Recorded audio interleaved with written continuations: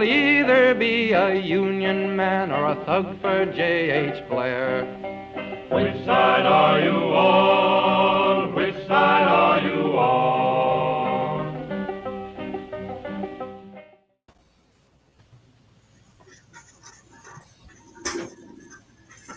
hit were 19 and 20 in the southwest field and things was tough.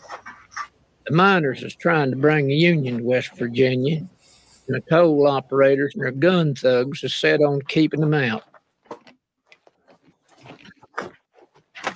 Them was hard people, your coal miners then. They wasn't nobody who wanted to cross. So push come to shove, and pretty soon we had us a war down there in Mingo County which in them days was known as Bloody Mingo. And that's where it all come to a head, there on Tug Fork in the town of Matewan.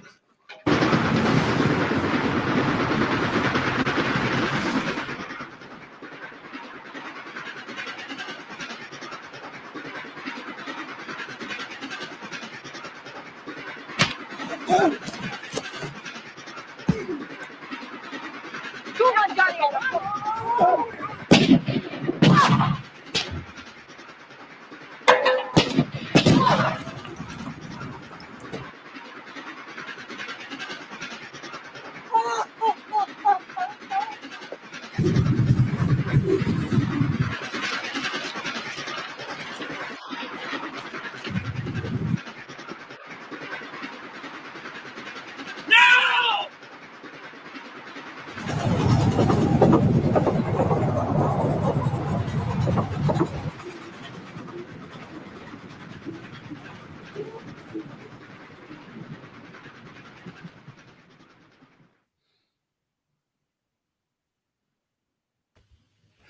Okay, welcome to Movie Night Extravaganza, episode 54. We're talking about Matewan, uh, you know, John Sayles film, and about labor history in film and uh, the way that, you know, labor and unions have been portrayed. Um, I'm sure that that'll be the tail end of the conversation and less than, you know, less that part than, than actually talking through this movie. I mean, I didn't write any notes down about that. But um, uh, I am here with J. Andrew World, graphic designer extraordinaire, movie night extravaganza co-host, Ben Burgess. Uh, co- well, I guess it's, it's not co-host, but it's uh, Loyalist? loyalist. No. Well done. Well done. Yes. artist, Ben Burgess, artist, artiste. Uh, um, Conan Neutron of Protonic Reversal, co-host of this podcast, and also Conan Neutron and the Secret Friends. And we are joined, um, you know, once again by C. Derek Varn, who hasn't been on the show for quite some time. Um, we were Not taking it in a, in a little bit of early season direction, but what? Not since early season one. Yeah, but uh, frequent guest for the first twenty episodes of, of the show, and then and then we got a little too big for him. I guess I don't know. or he got too big for us, one way or the yeah, other. one, one or the other. I don't know. The, the lines never the lines never crossed again. um, and of course, Sean KB from the Antifada. Um, Hi. How's it going? Good. Happy to be with you guys. Bringing that big Jesus energy to the labor organization. I Yeah. appreciate that. Yeah. I already bring it to the job site. I might as well bring it here. big Jesus E, we call it. It's different than Big Jesus D. That's another. That's a, that's Yeah, a, that's very different. that's for after hours, my friend. You don't bring Yes. that one to the job site. Leave that at Right, home. exactly. That's that's not work appropriate. You can No. get in trouble for that one. Jesus did. We canceled him. anyway, um, What do you think the crucifixion was? Yeah. Oh, hey. It was a Prince Albert. Oh, We're getting right So to guess- the heart of the matter already. I love it. one of one of my one of my first questions going into this. Um, I think that this history, I mean, both Matewan as this battle and you know the other skirmishes around it, uh, the Battle of Blair Mountain, which is what all of this kind of culminated into, has all kind of been, I think, buried from history. And I mean, I, I think you know uh, most people at this point have read like Howard Zinn, and he kind of uh, touch like barely touches on it when describing kind of the process of um, you know labor labor uprisings that led to kind of a, a compromise with the New Deal.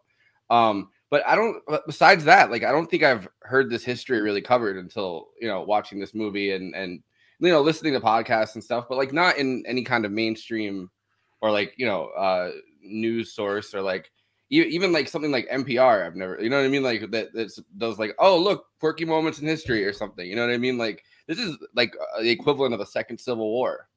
You know, like Oh yeah. Yeah, and there's there's a long history of it too. If you actually go back, starting in like the 1880s with the recession uh, then, and uh, the the they were like stealing car uh, train cars, and uh, the Marines were chasing them across the country. You know, just wild stuff. But um, again, all buried. Well, Yeah, I mean, the only one we're talking about. Oh, sorry, Martin. Uh, the only one we're talking about is like Thomas Frank, right? He likes talking about the Wobblies and Mm. stuff like that. But other than that, anyway, yeah, Varn, hit it. Go ahead. Well, I mean, eh, the, we always talk about Debs, for example, from like 1920, but this is how he actually got his place and his respectability. Um, he kind of dropped What- the ball on this one. On- yeah, he on- did actually. Um, Yeah. but uh, how bad this was, I mean, it is like largely not covered. This is the largest insurrection in the United States history, other than the Civil War. Um, there's at least ten, at least ten thousand miners were involved, and three thousand um, law people and um, uh, Baldwin uh, Baldwin men. Um, and even this movie, as much as I love it, only covers the beginning and the sexy part. Like at the end of the Battle of Blair Mountain, you have like the federal, either the federal, the state government literally bombing the mountain. Mhm. I mean, Yeah. it's it it it gets insane. and they Um, still they still are now that I mean, you know, they're still Mhm. going in there trying to destroy the historical site that they've built around um like within the last couple years they didn't want the 100 the 100 100th anniversary of the battle which I think was last year. It was like Mhm. 1921. Um the 100th anniversary they didn't want that celebrated and they were going in there trying to literally blow the mountaintops off of Blair Mountain. in terms of how this is uh you know this this film portrays it versus the the regular ass american history we get in school or we get on the history channel or pbs or whatever uh this story um we'll, we'll get labor history in the united states to an extent uh, you'll maybe get a homestead you get a pullman strike but really the um the main history starts at uh eh, with a new deal essentially because what the new deal did was manage to integrate um, these sort of class contradictions and uh, whatever into the state and into the political economy. But before that, and this movie I think is really good at portraying it, it was literally the Wild West. You know, this wasn't just you know the cops or the National Guard, although they would often come in. This was private power on private power. You know, this Yeah. is um, where equal rights prevail, uh, rule rule decides, right? Or um, what is the Marx quote? Where where equal right meets equal right.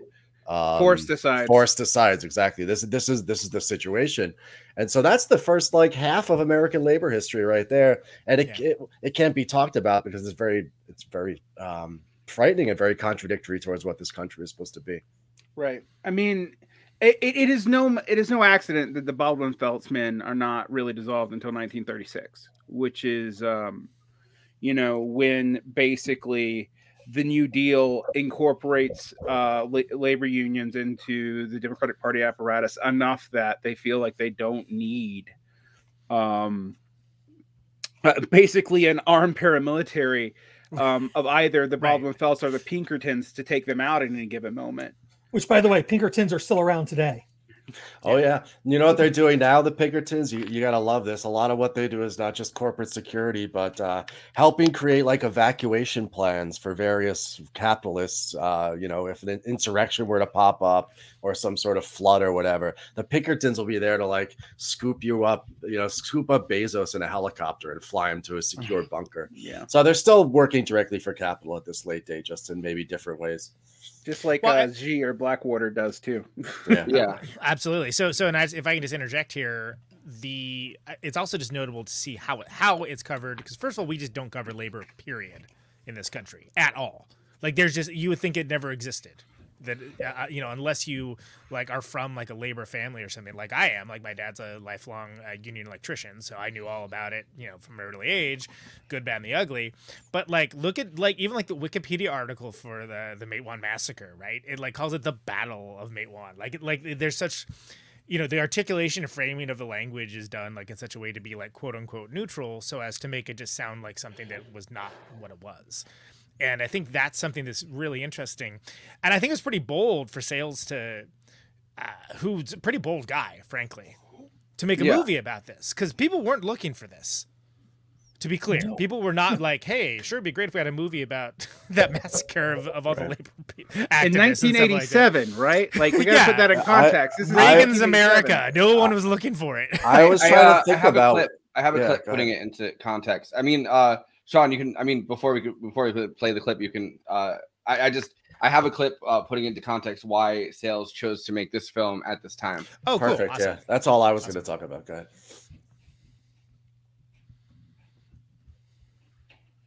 it was just as hard to make as any independent movie. So, you know, wasn't what it was about. It was that we were trying to make a movie outside of the, you know, the studio system. Um, to the point where we thought we had the money when we thought we could make it for a little under $2 million. And then the people who said they were going to put up the money called and said, oh, you know, that bank loan we were going to get to finance the movie it didn't happen. And so mm-hmm. a year and a half to two years later, we finally did make it for about twice that much money, which just our luck was when independent movies, there were distributors who actually put money up front for movies and I put some money in and we had some other people, you know, independently put some money in and, and I think we made it for about three and a half, a little more than three and a half million dollars. Mm. So the subject matter wasn't what was hard. It was just making a fairly ambitious movie you know, outside of a of a system where you know Chris Cooper, who was the lead in it, had never been in a movie before, um, and that was the good thing about it, which is that you know making a movie that far on the the you know the margins of things, you didn't have to say, well, who's bankable. You know, he wasn't even recognizable, much less bankable. Yeah. um, why why making it then? It was a the Matewan massacre was an incident that I had heard about first uh, when I was hitchhiking um, through the West Virginia and Kentucky hills and got a lot of rides from coal miners right during this kind of awful thing that happened within the UMW where there was going to be an election and Tony Boyle, who was the incumbent, um, was running against a reformer named Jock Yablonski. And it was really bitter and there was a lot of violence and stuff. And people were just kind of shaking their heads and saying, well, we're going to have another Matewan massacre on our hands. And eventually, um, Tony Boyle had um, Jock Yablonski and his wife and daughter murdered. Murdered. Yeah, See, in their home.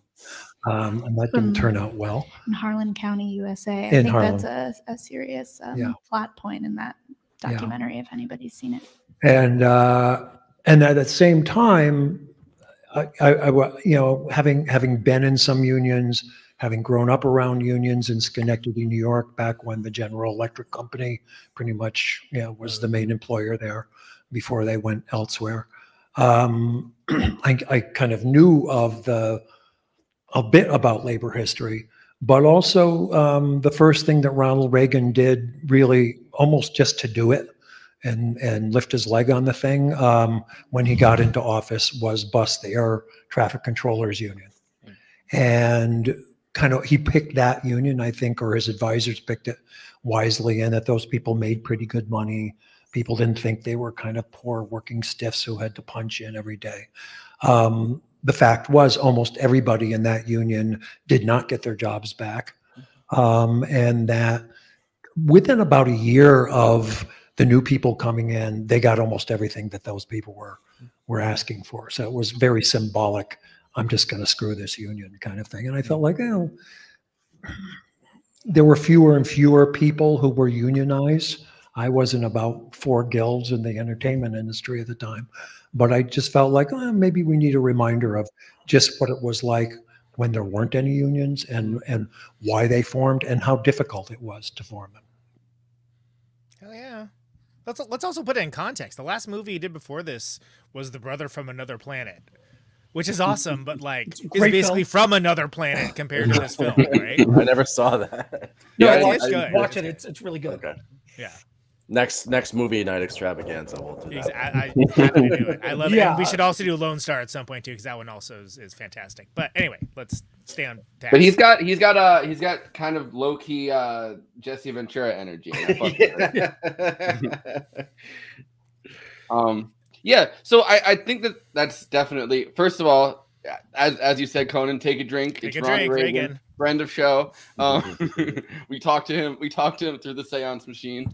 Um, but um, It's on the way back machine uh, on uh, archive.org if you're wondering. yeah. It's actually easier to contact Nancy, and then because Nancy's the big, you know, seance astrologer person. Oh yeah, but that's right. I forgot about yeah, that. Yeah, Then she'll she'll hook you up with uh, with Ronnie. Yeah, yeah. She'll make the connect. Yeah, He still somehow he still has Alzheimer's though. Um, in, no, he in- has Alzheimer's in, in hell, which is In weird. hell. He's like the first person to ever get uh, Yeah, onset. it's never uh, happened hell before. Alzheimer's. Most people get cured when they go down there, but not It's Ron. never, it's never happened before, or everyone forgot about it. One or the other. hey, everybody, little Alzheimer's humor. Biden might be the second one to get. Uh, Ah, might. hey. uh, you know. Thatcher too. Thatcher famously died with uh, Alzheimer as well. There's got to there's got to be some weird like connection between like neoliberalism and Alzheimer's, where it's like the more neoliberal you are, like the higher your chances are of just your brain Because you're not leaking out of using your ears. brain well enough. Yeah. Just like how being like a right wing, far right operative turns you into Gollum. So like, cor- like corrupts everyone. So it's like, wow, that dude's 32. Good lord, he's, he's Paul Rove is paging.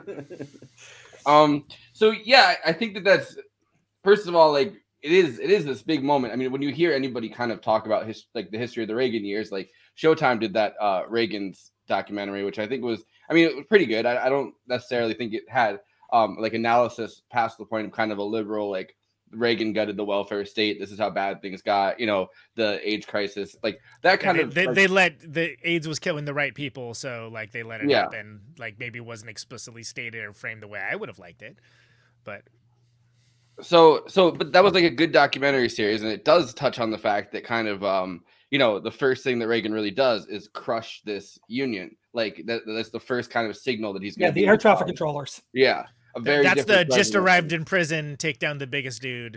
uh, Right, move yeah. Reagan did. and and they had Yes. and they had supported him that the uh, air traffic controllers because uh, Carter had been so bad on on labor and, and workers' rights, like you know, with all the strikes that had happened, uh, which is kind of like the last gasp, I guess, of this of this labor activity. Um, you know, as the Democratic Party ran as far away from them as possible and tried to grab kind of this uh, more professional professional managerial kind of uh, you know PMC type of person. I mean, I know Varn hates that. You know, it's not necessarily a class. I know we've had the, the, this conversation a bunch of times, but that kind of person, I think, that kind of elite, um, you know, professional is is kind of who the Democratic Party is grabbing for during this time period, and realizing that they no longer kind of need uh, anybody in the in the labor movement. So I they, they, they they start trying to actively distance themselves from labor, which turns into the DLC in the '90s and turns into Third Way and all that. I It like to- here.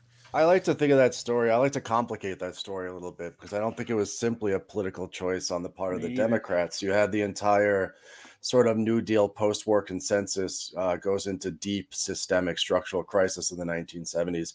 And so not only are the Democrats moving away from labor by the time, you know, Carter is president, but also labor our workers are running away from the Democratic Party and also running away from the unions as well. The 1970s was Yeah. famously, you know, the the last huge strike wave that we had, and it was not completely, but it was it was often a wildcat strike wave yeah, because you had this entire sort of edifice that we mentioned before when we were talking about uh, integrating the the working class, integrating the unions into not just the Democratic Party but also into American legal and political structures. That was starting to break down in the 1970s. So, you know, yeah, uh, because the leadership of the seven, you know, in the seventies went through the uh, uh the McCarthy era, you know, uh, getting getting purged and whatnot. Um, uh, you yeah. know, with the with the Red Scare. So yeah, uh, And and it's then also harder to and then the unionize a leadership- franchise shop. the, the leadership was like supporting, um, you know, the war in Vietnam. So so like, you know, uh, in the '60s. So so by the time '70s rolled around, the leadership just wasn't there like it used to be. yeah. Well, oh, Varn, go ahead. No, I, I, I just, I, I totally agree with all that. But I just, I, I I like Sean think that there are larger, there are larger economic forces that were driving a lot of this, and what we're really looking at is the epiphenomena of it. Um, and I, I don't think we can under underplay how big a deal uh like the in the, the the middle period of the new deal was for getting labor i mean the national labor relations board pretty much makes unions um subject to regulations in such a way that like solidarity strikes are effectively illegal. Coming together as uh, forming political parties dual cardism is effectively illegal like everything that have built labor parties in the 19th and early 20th century in Europe, even in Israel, uh, the Democrats and the Republicans jointly put a squash on in the 40s and 50s. Um, and then you had the AFL-CIO with the AFL purging all the communists out out of the unions. But that, like you said, during the McCarthy period. Um, but there's also the profitability crisis in the 70s.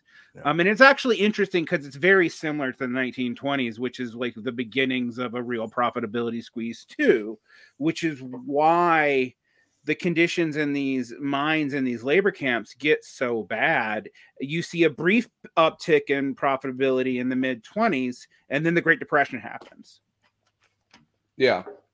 And there's, I mean, I don't know. There's a lot of different parts of stuff like the fact that kind of the 70s are the decade of like not being able to trust anything right like mm-hmm. it, there's a long there's a long time where the intelligence state has kind of gone around and just you know assassinated murdered destroyed whoever they want and and that's kind of being uncovered in the 70s at the same time as watergate at the same time as um you know what i mean like a, a the fall of like, saigon yeah and and a decade before that you know uh bobby kennedy going around and and and kind of doing this um i'm gonna hold mafia people accountable. And throughout that process it comes out you know what i mean? Like that uh, all the stuff like jimmy hoffa and like you know so that all of that kind of at the same time um, makes it so that you know any kind of organizational structure on one hand c- corruption's being shedded or you know what i mean? Like th- these things are being exposed. People feel more informed. But when there are actual organizational efforts that require um, like a, a, structure to be in place for people to get more benefits they're running away from that into this like individualism and it's a cultural shift. It's like, you know, we can't trust anything. Vietnam happened. We can't trust the government. They're going to send us, you know, into Vietnam. Like this is, and we can't trust, you know, labor unions. Everything's corrupt. Yeah, the hard hat, you know, riot happened yeah. where, where they uh, um were attacked the hippies. Those are um, my people. You know? Yeah, your people were attacking your people. Woo! Carpenters go. Uh, yeah, and, and you, you know, like people who look like you. Yes, exactly. and, and I think who think so like important. I do it's, it's, well, I think it's so important to remember, right? Because people think of like labor as as uh, you know being like this this utopian idea of, of what uh, unions should be. But I'm really glad that in the movie you have James Earl Jones' character that is, let's just go ahead and charitably say, not looked upon favorably when he like comes in to uh, talk them about joining up. In fact, it's like pretty overtly racist. But that tracks because even uh, more recently, right? You know, like like think about the, nat- nationalistic uh, sentiments coming from uh, auto workers and whatnot during like the, during the 80s when like the foreign cars were, were coming in stuff like that. Like it got pretty ugly and i like that it was addressed but it wasn't like the main focus. Like the idea is like no but they overcome this.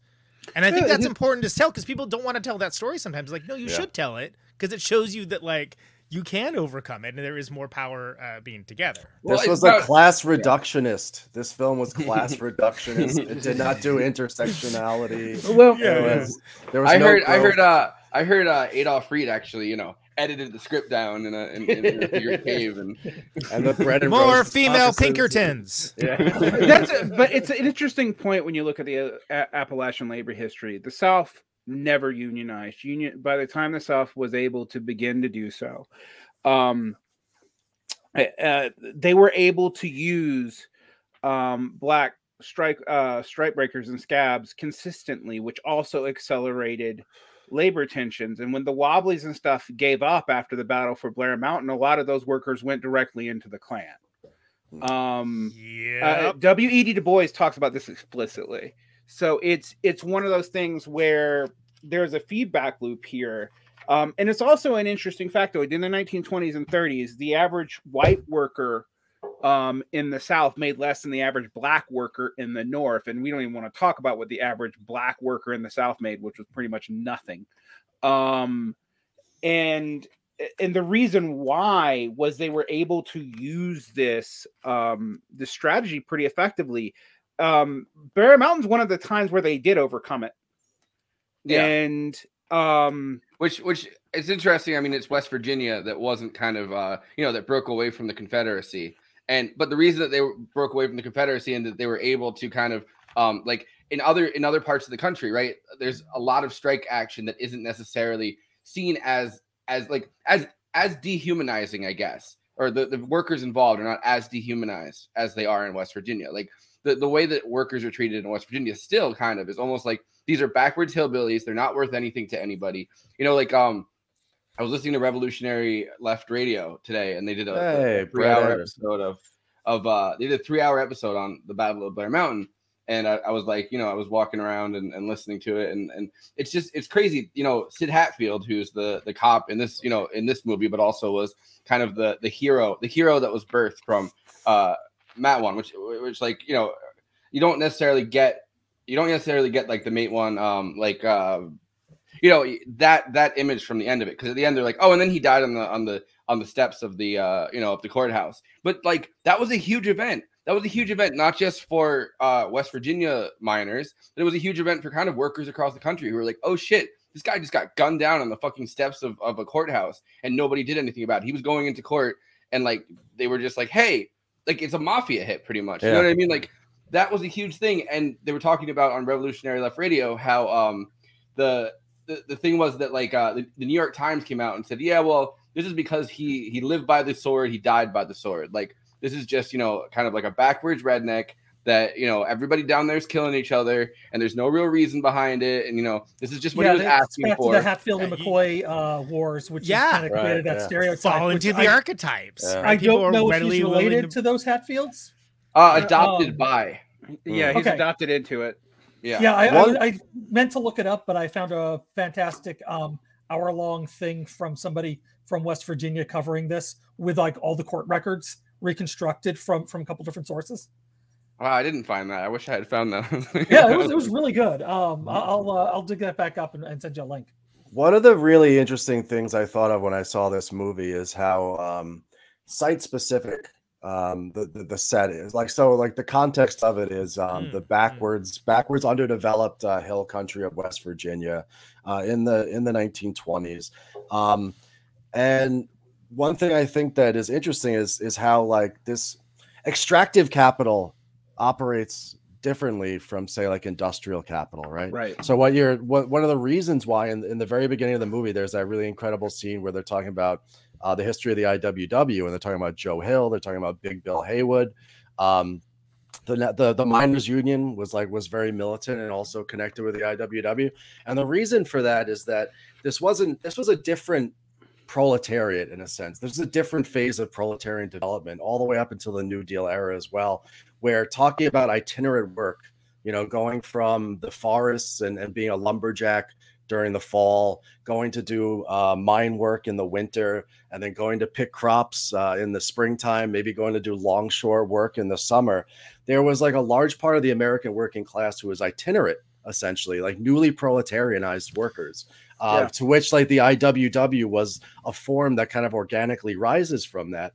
And when you're talking about a place like Blair Mountain and the militancy of that, it's because A, these people are wage laborers for like maybe the first, maybe second generation, right? So this is a new sort of like historical experience. But also, too, it was literally the Wild West because like you didn't have big factories. You're talking about capital like going into with railroads, like inserting itself, like driving itself through the mountains in order to like basically infiltrate and profit from and exploit uh, these people who had up until then been very, very, very uh, isolated. It's a very unique and interesting experience, and it kind of it kind of still exists, I guess, but kind of doesn't.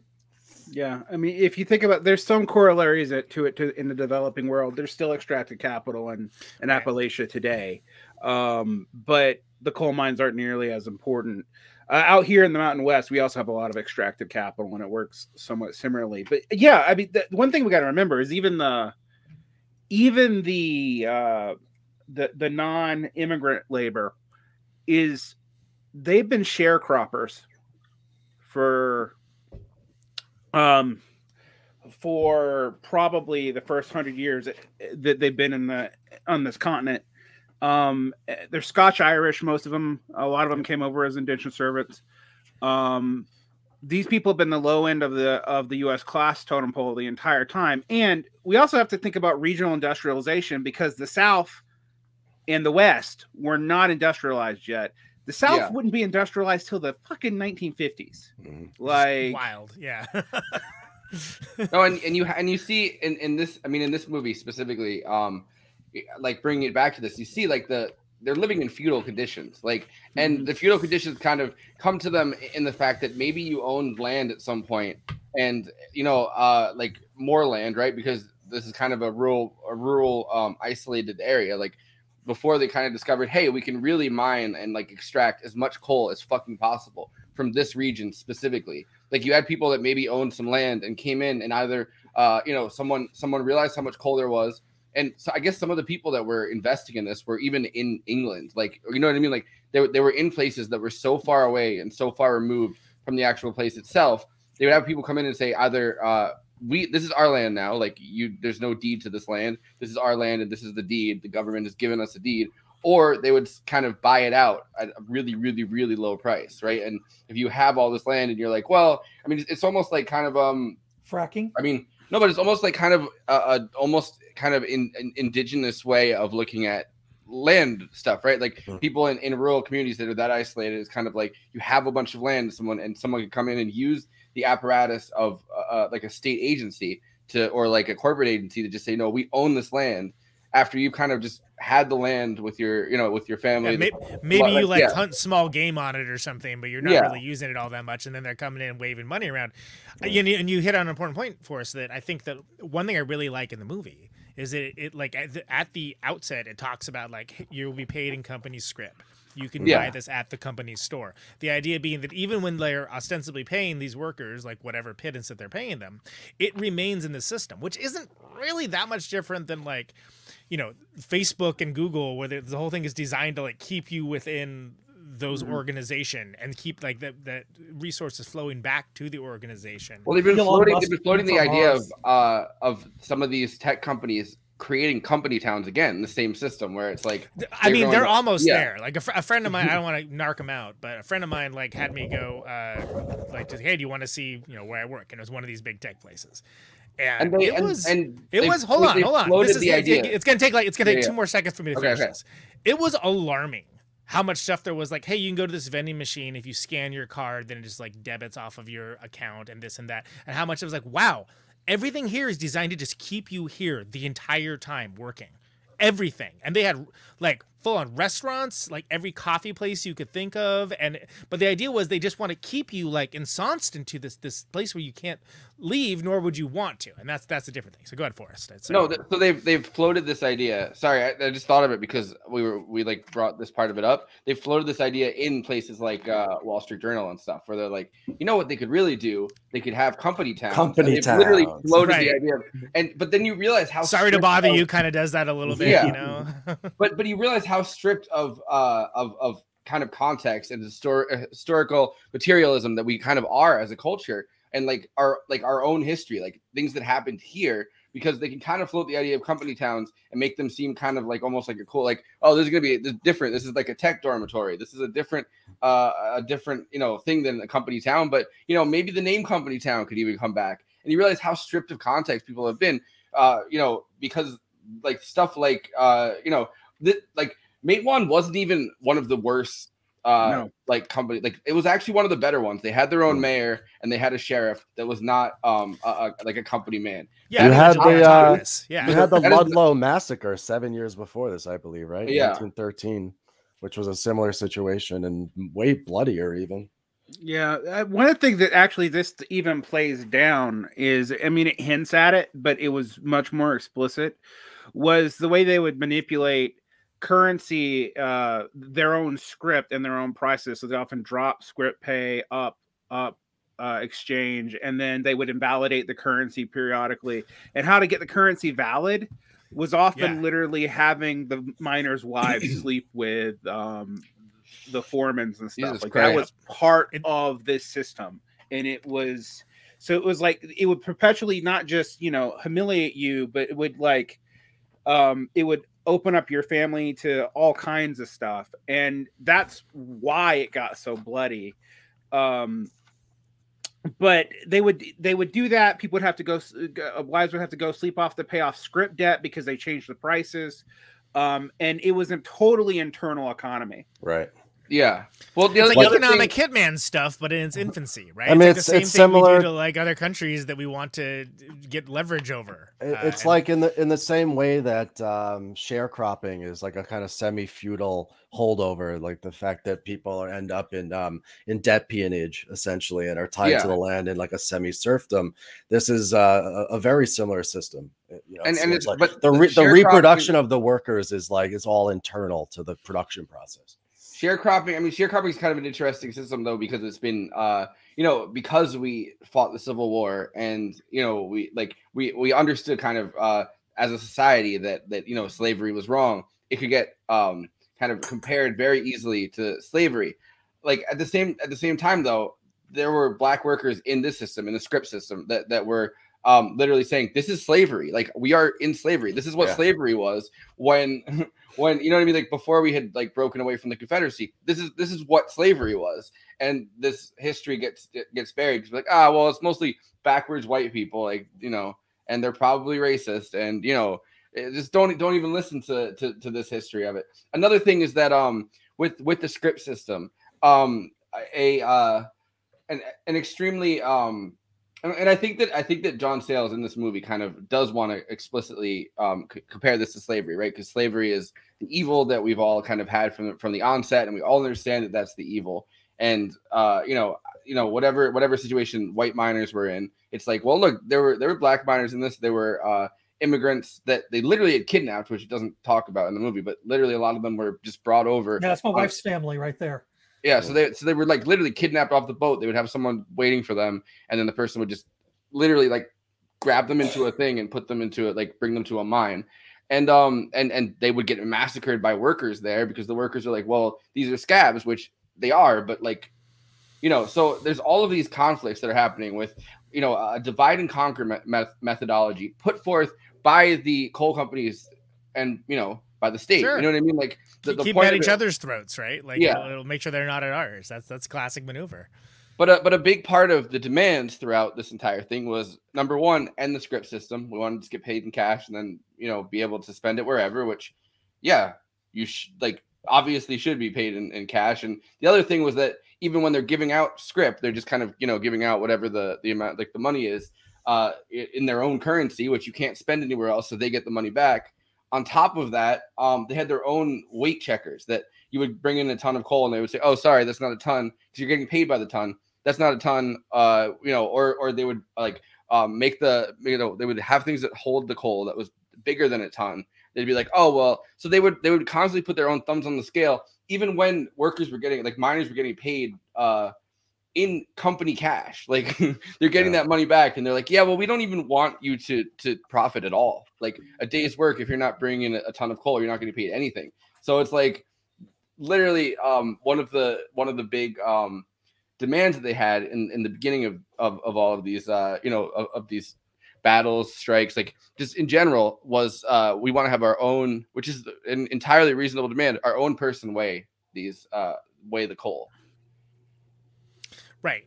Yeah, like, have like a like a neutral arbiter, like basically not have it be dependent upon the the moods and or ability or interest in downplaying what it is to devalue that uh, that um, that load, right? And, and and I think that that's that became more standardized as labor practices kind of became more organized. That would be like, hey, you can't do that anymore. Like we know that you're like fucking with us here, and we're not going to let you do that anymore.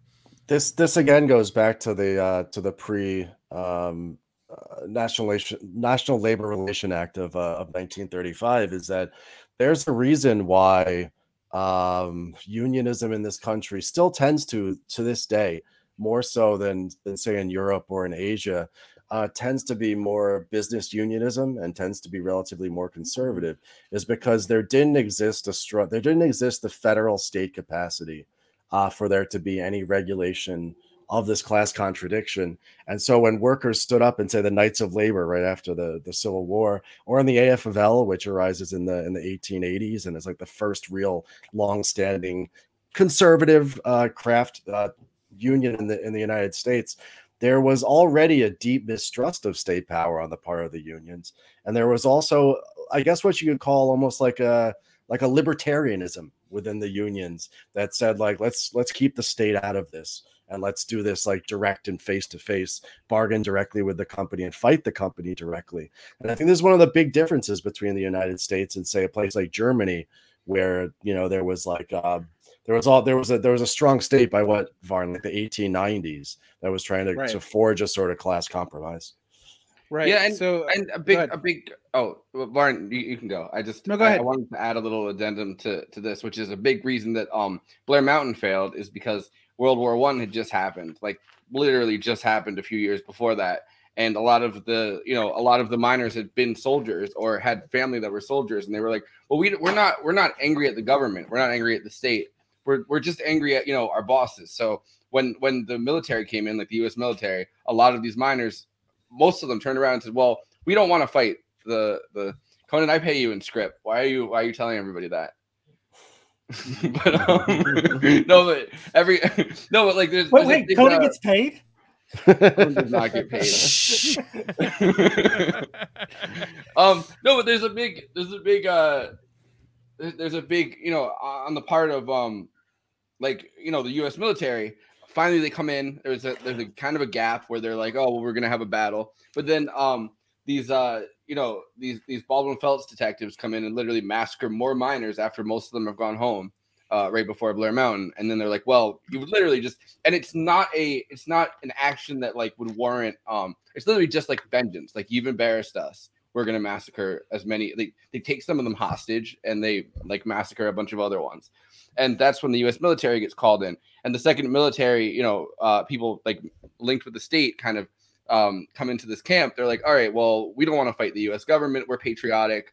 We're we we just want our own." So they see the state as a separate entity Mhm. uh, the state government as a separate entity from the federal government, and the federal government as someone that's not their enemy, that is the, you know, a neutral arbiter. And like, there's Right. kind of a question if they were willing to go all the way and just go, you know what, we're gonna like use the guerrilla war tactics on the actual like U.S. military, National Guard. Like, you know, how far could this have gone? Protracted People's War started in Appalachia, the 1920s United States. Let's fucking go.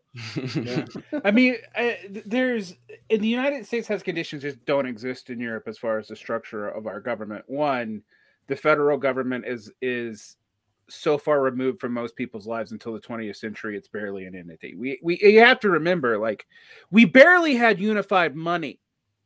Yeah. Like, like that's uh, like all these things that we take for granted post World War One are modern things. Um, I mean, Yeah. you know, the establishment of a national bank in the United States was like fought over for most of the of the 19th century.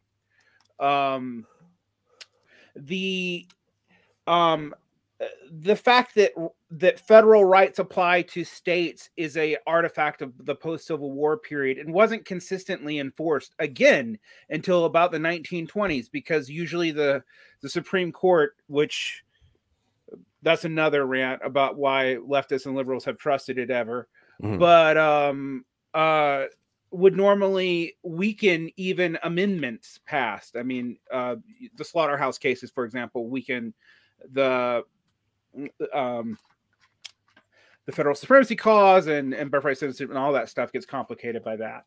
Um and so what you had was like who were you going to appeal to? Now interestingly if you want if you have similar labor disputes actually the similar labor disputes happen this way in china where uh, chinese workers will, will rebel against local companies and and and even provincial governments but uh are, are fairly deferential to um the to the central prc It's a, a similar structure happens. Um i, I would actually say that like the the, the the labor militancy in asia um, is is interestingly not um, a- as big a part of of of China's history because um, the union movement was so new there when the PRC was established, and the All Chinese Union has sort of subsumed it all.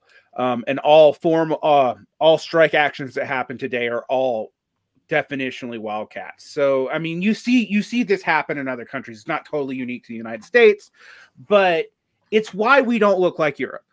Um, and I mean, the, I think the other thing is like we always talk about core and periphery with regards to U.S. and other countries, but there's core and periphery within the U.S. and Oh, yeah. Appalachia has always been the periphery, still is. I mean, you know, there's places in Appalachia that were getting electricity in the 70s. So, like, you know, Not to mention that's that that that core periphery or like the urban rural divide, whatever you want to call it, still to this day is used by capital, obviously, Mm-hmm. right? The ability to move within a federal jurisdiction and have different, you know, tax structures and different proletarians, you know, who can be exploited to various different degrees is like one of the the another huge thing that separates the United States from some place like Europe. But and, and and it's kind of I mean West Virginia feels like somewhere that's fallen fallen between the cracks in every possible sense. And I mean on purpose, right? Capital has been able to extract resources from there the same way like it's kind of America's third world within America. Like it, like it's but the fact that uh you know they they stuck with the Union in the Civil War also meant that like the Confederacy as you know southern states gained power post uh you know post Civil War and kind of got back to the status where you know they could literally hold up um, uh, negotiations or or any kind of legislation or any policy they wanted. Um, Conan, I just noticed you got one of your cats with you, and I Yeah, I- yeah, yeah. You wanted to get into I the got discussion. I'll be back in one second. um no but like so there's this there's this uh there's the periphery of the periphery like the southern states that are willing to fight for southern you know a, a system that was relentlessly exploitative a system that was relentlessly evil but still they're willing to fight for their own interests and kind of make their state um you know, you know they're trying to extract as much capital for their state as they possibly can and for that system as they possibly can west virginia didn't even get that like west Right. virginia got kind of left behind by both like union states who were like Worst of well, both this worlds. is yeah, like they're they're like, well, you know, we're industrial up here. These are backwards rednecks, and they got left behind by southern states that were like, yeah, well, this is someone that's like, this is a state that's like a traitor. So you know, when coal companies kind of come in, move in um uh, just just a little bit later and just start like grabbing up the land, nobody, there's no love lost uh anywhere within Yeah. within, you know. one thing I would say is interesting about West Virginia is tied to that. Like, so the South always has been used as a bulwark of cheap labor. It still is, even like it really still is. Partly because of black and brown people, partly because it was never unionized, partly because of, of, of a thousand reasons. But there was a planter aristocracy that was kind of reincorporated into the bourgeoisie in the South. Yeah. And they really come to power in the 1920s and 30s. That's when all the stupid Confederate statues go up and all that. They're not from the 19th century. Yeah, they're, they're there to make people, the right people, feel bad. Right. And they're there to make the white people feel bad in the 20s and 30s. Like, not, yeah. So that that's important. It- Um, it's important. but- It's important to remember because they're they're there as to remind. They're there Right. to remind all the people that should be reminded of the things that they're meant to be reminded of. And Right. to say that they're like heritage or whatever is horseshit. Anyway, that's a separate. Yeah, that's a, but it's, it's, it's a total. It's a but the the reason why it's kind of important though is keeping the tensions between black and white workers was a way to suppress wages in the South. And you got to remember, like up into the 1940s, you know, the only major industry in the South outside of agriculture was textiles. And if you know anything about uh, the way capital works, textiles are like the industrial capital you don't want because it's usually you know where the shittiest cheapest uh sweatshoppy kind of conditions go As and the other thing yeah. yeah and the other thing that's like that is extractive capital and both were all over the southeast but in west virginia there is no planter class to integrate. They didn't exist there. So there's nobody to bring in uh to like be the responsible bourgeois to like make some kind of you know uh detente with a former aristocracy. All you they literally just seen that entire state's literally just seen as shithills and they kind of still are like Has anybody Uh, been there? Yeah, something? I, I, I, I never have. Tour. I'm a Yankee. Sorry. Yeah, no. Yeah. Um, my- on my- my tour, and it's family- always as as eye opening as ever. But it's like, oh yeah, these guys. My, my wife's family is state. Italian who emigrated to to uh, Bluefield, West Virginia, mhm. and and Bluefield gets mentioned a bit. Um, it's wild that, that that's where the papers for the um uh for for the uh uh the the uh private terrorist um uh ended up uh, being at uh because uh, I've been to Bluefield. Um, Bluefield is a very very very small town. You have to actually, if you're coming from the north, you have to drive 30 miles south of it, and then drive up through a mountain to get there. It- it- is um you can't Which is get pretty there from the typical. West Virginia stuff. You know, yeah, that's- that's- yeah, that's but not I, I mean, like, you, but just to paint a picture for for for people, like like, and and Bluefield is like where um uh they were that train everybody was waiting for at the end of the movie. That's where they're waiting for it to come from, which had like the the uh, um arrest warrants for the uh, uh for, for, for the um thugs, uh the you know the anti-union thugs. Which, Yeah. by by the way, talking talking about that that kind of battle at the end of it, um, I I think is it's a fascinating like because it's kind of this really dramatic moment. I guess in real and like it lasted like all of two minutes and and you know literally literally probably I guess real time, but like Yeah, the that kind of battle as like something that um you know I. I, I I wanted to I wanted to bring it back to the movie itself though, which I haven't been to West Virginia. I've been to Virginia a million times because of yeah. every No, West Virginia is very different than could not possibly totally, be any dude. difference between the that doesn't, two. Yeah. that doesn't yeah that doesn't surprise me All of North And- Virginia is like military industrial contractors and spooks now. yeah. See, I, I haven't been to that part of. Well, I, I mean, probably I've stopped through it, but uh, the part of Virginia I've been through is kind of the one like the more poverty-ridden parts of Virginia. Like, um, I I road tripped from Texas back to New York uh this summer, and I we like our halfway point. My ex girlfriend and I we stopped and she needed like to sleep at, in the middle of this drive back, and like so she ended up um falling asleep like at a gas station. We parked there and I was trying to do work. Actually, I was trying to do work for Ben uh, with my laptop in the middle of a like this rural this rural gas station in Virginia. Yeah. And I kept uh, I was I kept um trying to be like, is there Wi-Fi somewhere? Like sounding like the most fucking Yankee I possibly could. when you got Wi-Fi, is there messaging Wi-Fi telling me about here? this. and, and every single time, every single time, someone they were like, "No, there's no fucking Wi-Fi here." Like, what the fuck are you talking about? Yeah, like- and it's not it's it's not just it's, Wi-Fi. it's not it's not it's not just a Yankee thing. I mean that, that's like a it's it's an outsider thing. And and what's Yeah. interesting is when I when you mention you know Virginia and West Virginia, it has way more in common with uh, southeastern Ohio, like you know your Youngstown with hills, pretty much. And I say that as someone that played these places, and like these are places that like literally will brag about we were number one in crime for this year. You know, they're- Yeah. because they're proud of being number one at something. Mm.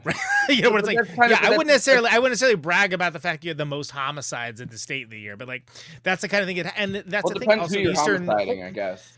Like if, if- Eastern- if, you killed your whole police force, then maybe. Uh, yes, that's not that's not what's happening. Anyway, hold on, hold on, hold on, hold on. I almost, I almost got a point out, uh, Eastern Kentucky, also Number Which I one think is is- is- something.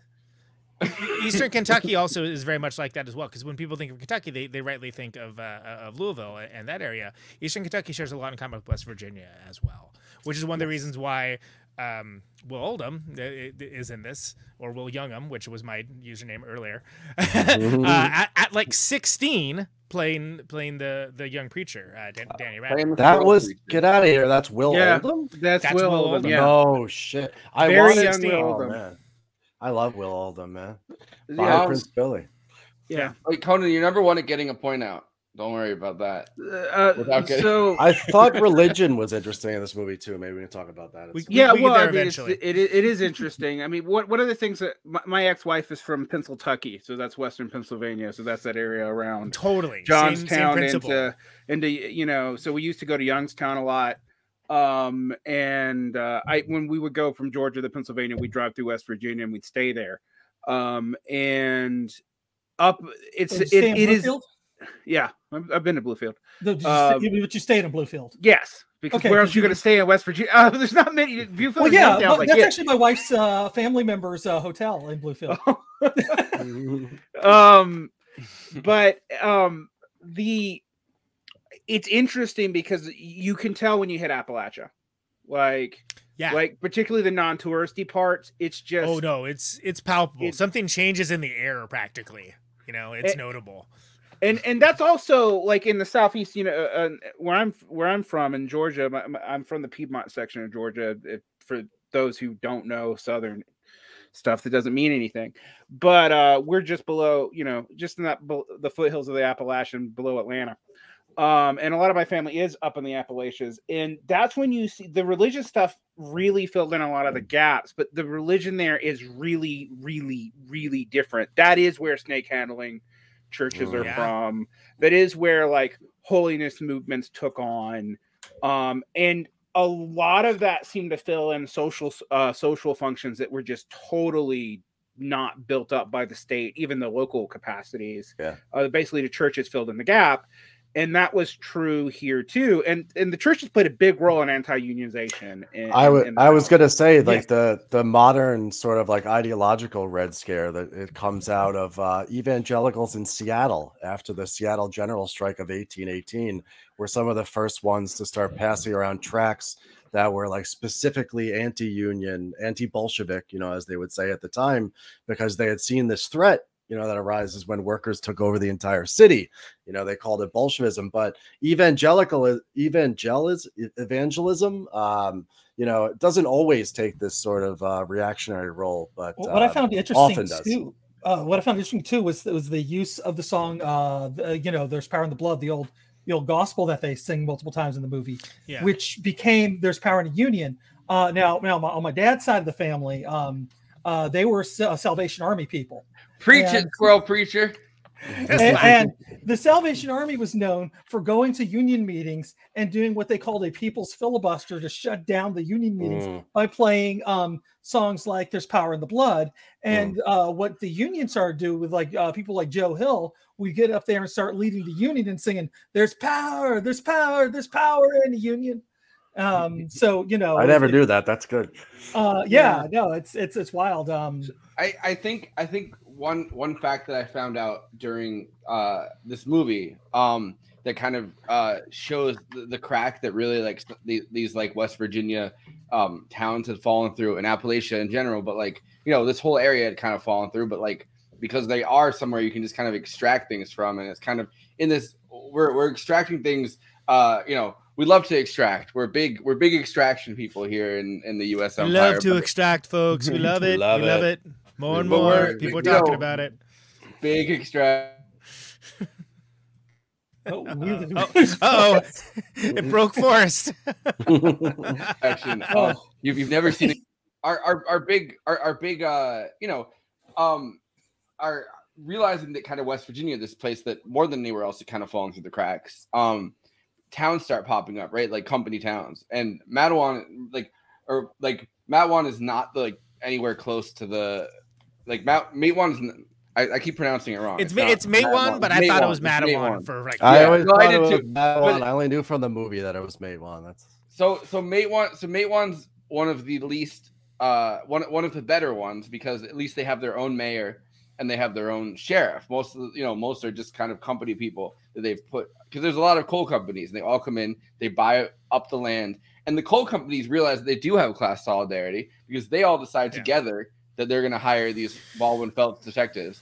But but so Yeah, um, so it's Josh Mostel as the mayor in this one, and then it's uh, David uh, Strathairn. Um, Yeah. as the, Who's- who's the always sheriff. pre. Nomad Land when he's you know crushing unions, uh, but you know whatever. Um, Don't start it come on, uh, Come on. Expanse. He was, he was No, so but- great in the Expanse. so no, so so so um the name like the name itself, right? Like like um like Matewan, like the name that name comes from um Beacon, New York, which is 15 minutes from me. Like it's the next exit on the throughway. And the reason that it's named, the original name is Matteawan, which is a you know an indigenous word. Um, like that's the name of the the original uh town or city. The, you know what what what before when it was first incorporated, and the reason that they named it that is because all the stuff to build the town had come on the train from New York, and they're like, oh, where did the train come from? Let's just name the town after that. So that kind of shows you how fast and how little thought really went into creating a lot of these And then they territories. added all those syllables to it. Light one. well, that's because when you go to West Virginia, you lose a couple syllables. No, no, no, you no- gain them. You gain them. You know, when you go up to the whale. Well, and I like the there was, I think Yeah. that uh, Sayles who really excels at portraying these types of characters in these kinds of places more in in a true and real feeling way than a lot of directors.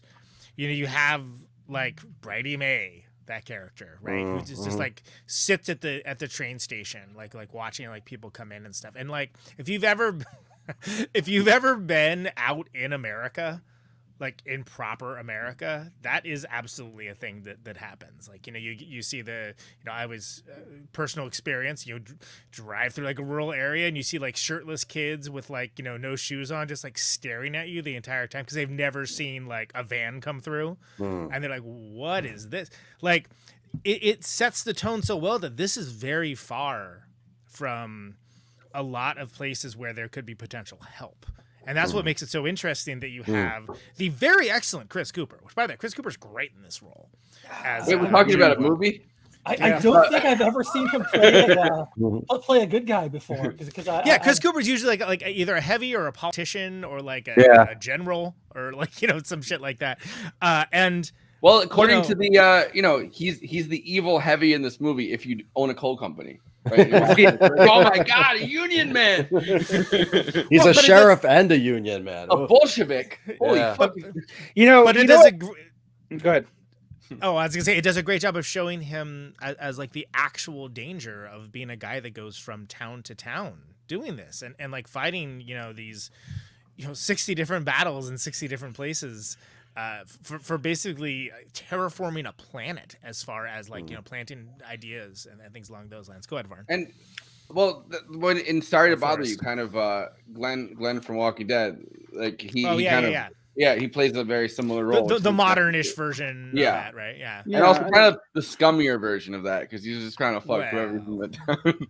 Well, I mean, yeah, Chris Cooper's clearly there to. He's not so much salting. He's not trying to build a union. Union's already built, Mhm. but he's trying to get the unions in correspondence with other unions. He's, and try, to he's get- trying to, if the seeds are planted, he's trying to get them to sprout. Right, right. To to coordinate. I mean, and that actually becomes a problem in the movie that's kind of addressed, but not addressed. Um, it doesn't go into it very deeply as like how how the IWW's internal politics and the way it was focusing on the Northeast and the West led it to like not really focus on the South. And so when they asked for like strike authorization with the larger IWW, they couldn't get it in quickly and eventually had to work on their own. The other thing I like about this movie, um, I have some. I- I, I think Chris Coos is awesome in this movie. His performance is great. Um, I think the character has one flaw, and that is I don't believe that character would have also been the pacifist. I do believe there might have been Mm. one, but it wouldn't have been that guy. It wouldn't have been Um, him. Yeah. he was so Uh, passive too. Like, like Which- um, I remember watching a long, a long Berta. way, a long Yeah. way to uh, uh, Quick, everyone talk all at once. Yeah, No, so it takes us. Well, a lot of the stuff I say is very pointed, trying to get a conversation in a certain direction. There's a there's a clip that I have of John Sayles talking about where he got the. Uh, well, sorry, all I bring to this. if, if he brings No. up Boxcar Bertha, I'm going to cut I you. uh no, You have the I- ability I- to kick everyone off the show for us. You don't need to justify yourself. It's fine. I introduced everything. I let things go, and I bring in clips. What else? I just sit here besides that.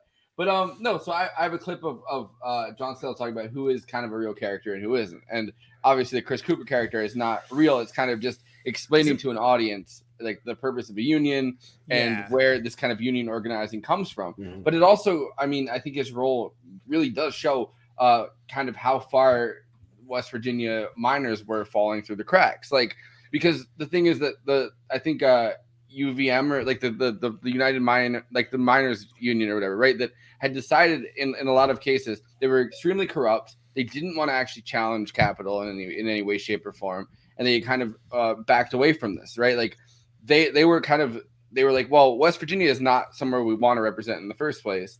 Um, th- they kind of got failed by them. They got failed by um, you know, like like uh, just in, in every really way, right? Like the the uh, IWW failed kind of failed them because they're not getting really money down the line that they're supposed to get, and they're based somewhere else. They're based elsewhere, and kind of this like uh, IWW workers coming in to kind of organize them, and it's like, well, they're in Pittsburgh, and like the money and stuff will get there when it gets there, Mhm. and they're allotting a certain amount. So that part of it has failed them. and uh, you know, I mean, even used a yeah. uh, an, an eldritch slur in that that you don't hear anymore, which is uh they called them hunkies, bunch of hunkies up in Pittsburgh. and then and then at the same time you have this uh you have the, the someone that's literally working and they didn't um i don't think they express it very well. The guy that uh that betrays them in the end um is literally not just working like not just suddenly working for baldwin felts he is someone that has gotten like he he got famous for being this baldwin felts spy Mhm. and running the safe house and being someone who like uh even even like he he lasted for decades. Like he only died in like the 70s or the 60s or something. Like this movie was in the 20s like he he bragged about and and also testified against um uh like Sid Hatfield and also was the one that was stepped out in the shadows and murdered Sid Hat like there's just so much um that this movie because I think it is it's structured as a western can't really cover but like these are some of the, some of the figures within this movie are real people and some of them are Yeah, I mean, of- it, it's already a pretty long movie. If you try to include all that all that stuff, it's like it's gonna be a six-hour Is it miniseries. is Or it like too late for uh, why why his few clothes? is it is it uh too late for a Matewan 2 or like a gritty reboot of Deuce. Matewan like Joker or something like that? I'm here for it, man. That'd Prestige Later- television later on, series. Yeah. Coal Boogaloo. You know what I mean? Like, but So, I- so yeah. real, real quick sidebar. This is Chris Cooper's first feature film, by the way. I don't know if Mhm. everybody knows that. Like he basically everybody, well, buddies. he said it in the beginning. We watched the John Sayles clip, and he said it. Not only was he not bankable, nobody knew who he was. It was it was his first feature film. Like Yeah. so, he is fr- he basically was his friends with John Sayles, who, who was like, Yeah. this guy would be great in this role. And I think that that, um, and again, I just can't oh, talk enough about how John Sayles has like a good feel for this kind of thing in all of his films. That like he just he's he's really good at that kind of thing. Because like look at now, like how many times have we seen Chris Cooper in like in in movies? Oh yeah, he's a that guy. It's that dude. I like that Yeah, guy. That yeah, guy's yeah. good. You know, and That's- it all started here. And uh, I guess one other one other thing I want to say before I before playing this clip is that um, I mean, as we see someone like uh, Joe Manchin, right, that kind of holds up um, and I, and I mean, I think you can argue that he's holding up legislation for the interests of the Democratic Party in general. Senator, yes, Joe Manchin. but uh the only one that really decides anything no but um the the fact that these coal companies right that are evil in this movie and are evil just in general are kind of the, the backbone of what holds america up for a long time. Like you know what i mean? Like because they've decided like america the industrial revolution runs on coal. Like our industrialization runs on coal. But we've left that industrialization. So when you see someone like Joe Manchin, who's heavily invested with the coal companies, the villains in this movie, the reason that he acts the way that he does and wants to retain power as much as he does, and is the fact that like his industry is slipping away. Like you know what I mean? As we as we enter uh, parts of the you know Yeah. economy, and and things haven't changed for workers necessarily, like in a lot of ways, but things have changed for the actual uh, industry control of who actually matters. So you're you're watching even people like Joe Manchin slip through the same cracks. personally and financially invested both. Yeah, no, a hundred. So it's like it's interesting to like be talking about this movie now. I think, and to have The- Bernie the reason why of- we can't have meaningful climate change legislation is because of that. Fantastic. and uh and and to have Party. Bernie literally Bernie literally you know put the words out there to which side are you on on a cable show recently, which I don't. I mean that's such a low bar. Like it's such a low bar, but it is something that's like, well, this is something that you know hasn't gotten referenced in the same way. Yeah, Bernie Sanders, you know, whatever you want to say about him is very much part of that tradition. Like the guy did a fucking didn't he record like a um like an album of like spoken word shit about uh, Eugene Yes. Debs? He's like Yes. maybe the Well, no, only no, so two different popular things. He- figure in American he- history that He uh, made a upholds documentary. He made a documentary about Eugene Debs. Okay. He recorded a spoken word album of uh, workers like union songs. Um, I know that because I'm someone that mm, creates my own documentaries. So I was like, oh shit, this guy makes uh, low key documentaries that he got paid like a tiny bit of money to make from historical archives. That's fucking awesome. No, and, That's and another- that album that he recorded is awesome too. It's it's it's just great because it's He says, so. "This land is your land. This land is my land." From he, that's literally like that's the most Yes. famous uh, from But they, like, they have like the story choir in the background, Right. and like like all the 80s excess of, of uh, uh, overproduced music going on, and then just Bernie Sanders cutting in, going, "This Yeah. land is your land." Yeah, it's it's, it's it's quite surreal. Almost as surreal as his public access show where he talks to mall goths and lectures children. Yes, I love it. I love it. They tried to smear it with that, and I was like, no, that makes him It's like, fucking. it makes him look fucking awesome. Are you kidding me? Like, He's like Wayne and Garth. yeah, exactly. excellent. Potty on, potty on. I'm having some computer troubles right now. If I lose you guys, I'm sorry. And and how did you approach like the the characterization? Because I mean, one special thing about your movies, I think, is that you often have a view of a community and many voices and many points of view in a community, Mhm. and and that's probably something that you went in going. But the challenge there is like, which side are you on? is, is the kind of Mhm. thing. How do you make sure that it's balanced, or do you want it to be balanced? How did you work that out? You know, there there's um, four or five actual historical characters who there was a little bit written about them. Sid Hatfield, who was the sheriff, um, the agent provocateur um, for the management people. C.E. Lively was a real person. The character that James Earl Jones played, uh, Few Clothes Johnson, was based on a real person. Uh, the rest of them are kind of composites. And um, I had read there wasn't really that much kind of history written about these people, but I found a lot of diaries, um, things that were written by, oh, my dad and I used to go down in the coal mines in the 20s, and this is what it was like. Or, you know, even one woman whose mother had run a boarding house in a in a, a company camp. Um, in some some stuff written by immigrants and and that was the first job that anybody in their family got. So using those i kind of put the characters together um, thinking about them. I read um, uh, books by a couple of the um, not so well known but you know guys who were pretty high up in the wobblies um, because i figured that the character chris cooper um, you know plays is somebody who has been an iww organizer a wobbly and then now has kind of you know been sent out by this fairly new UMW um, to see what he can do. Yeah, I think one of the things that I, I feel I felt most impressed by in Mate Matewan is the language of the film. Mhm. Um, that so much of the way that people speak in it is, uh, for lack of a better word, so uniony. Um, even in in union films, in like strike films, it's not necessarily the norm. I would say to use the language that has been traditionally associated with union Mhm. organizing, the sort of brother and sisterness that kind of comes out of a different kind of colloquialism. Um, and I think that's one of the more interesting aspects to me of the movie. And I was wondering if there was, if that was um, something that you worked on for the film. You know, it's something that I ran into doing my research. Um, you know, like the Masons have their secret handshakes and words and stuff like that.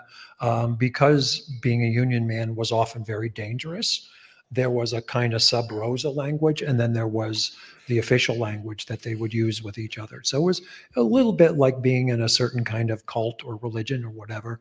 I got a lot of it from old UMW journals and some of it from the Wobblies and the Wobbly publications. Um, it was as uh, kind of fervent a belief as this is just going to solve everything. This is a time in America in in the in 1920 when an awful lot of people are working in industry, whether they're immigrants or they've been here for a couple generations. So it, it, it seems like we have the masses. Mhm. We are massed. We're not isolated on farms anymore, like the Wobblies were trying to, you know, really organize fairly isolated people. Um, these are people who are all together and they're kind of under one roof. We should be able to do this, and this is really going to work. Mhm. And so there was there was a kind of excitement about that, and it was kind of like you know if you were you you, you might not wear it as a badge, but you know it was kind of like being in a club. Exactly. Badges. We don't need those kid badges. Mm. I, I don't know if the real question that someone would ask uh, to try, try to find out whether somebody's a Baldwin Felts agent or working in a union is like which eye is like Big Bill Haywood missing Hmm. because I feel like you could just kind of be working for uh, Baldwin Felts. You'd be like, well, you should probably know what I like. You've seen pictures of the guy, like you know what I mean. Like maybe Probably took maybe out the eye. I don't know. So that that seemed like that was the one question I think. Well, they also asked about a, like a Jack London book, which is you know whatever. But like it, it's like some of the questions were a little bit basic. It's like uh someone has just been doing like a little bit of union research and is like, oh, there goes there goes Sean. Yeah, he, he said Yeah. his internet They, connection. they, they read the Wikipedia page, is what you're saying, and then, then uh, wrote, wrote the script. What is Well- a union? And then they're like, well, a union is, and they're like, you figured out the code. There's a there's a so uh, listening to Revolutionary Left Radio. One of the things is that um both both the the army that was uh working, both the army that was working with uh the coal companies, and uh I like that you took the the initiative to change the name on the. Th- that's Andy World and I's shtick, by the way. We do that quite a bit. That's good. I like it. Um, no, but I, I really I like that both. Well, all right. So the story that both the U, the union, uh, like the the army's working for like you know unionizing, like the workers, the miners, and um, and the, uh, like the the army working. By the time that Blair Mountain happened for capital, like for the coal mining companies, um, they both had passwords. But I guess at, at one point, one of the battles leading like right up to Blair Mountain was that um the password used by uh, the, the the coal mining company's army, which was entirely made up of volunteers that like were pretty much told like, oh, you guys haven't unionized yet, and uh, you know you're gonna lose your jobs if you if you don't if you don't join this army. Like we own this army. This is the army. Go in there and kill other coal miners. Mm. So that army, their password was like Amen. And when they asked like password, because I guess both armies didn't know whether they were which side they were working for, they didn't know which side are they on. And uh I guess the password was Amen. And when they didn't know it and they used different passwords, they just started shooting at each other. And that was like one of the battles right before Blair Mountain. Classic blunder. Um, I, I did also just kind of wanted to uh, touch on the music if Conan wanted to talk about that. I would, I uh, would love to. Uh, I, I I do absolutely. Um, uh, even though I thought it was a little too sharp, but that's just me. that's just that that kind of singing. Um, oh yeah, uh, you mean like musically sharp? Yeah, yeah, yeah. No. Yeah. Uh, well, you know, the, there's a there's a rich tradition for West Virginia of you know that that manner of uh, feeling it, not necessarily like being note perfect necessarily, right? But Yeah. uh, I, I, and and it being something where like look at the alternative, right? Like you- they they that music was developed because Yeah, I personally love alternative coal mining music. You know, I don't like that mainstream coal mining music. It sucks. You, you like the stuff when they brought in the uh, the mandolins from the uh, from the uh, Italians. Yeah, that was. I thought that was that was like a little corny, but I think it was cool how they showed how like the black guy had the harmonica, the Italian had the mandolin, Yeah. and there was the fiddle, and then and they're basically like creating like American culture at that point. Right? Yeah, Amer- And I remember American going to, culture like, is a- being created.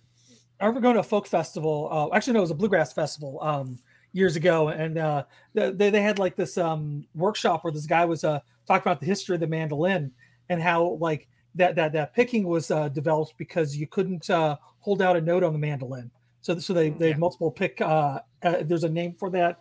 I know Conan probably knows it off the top of his head.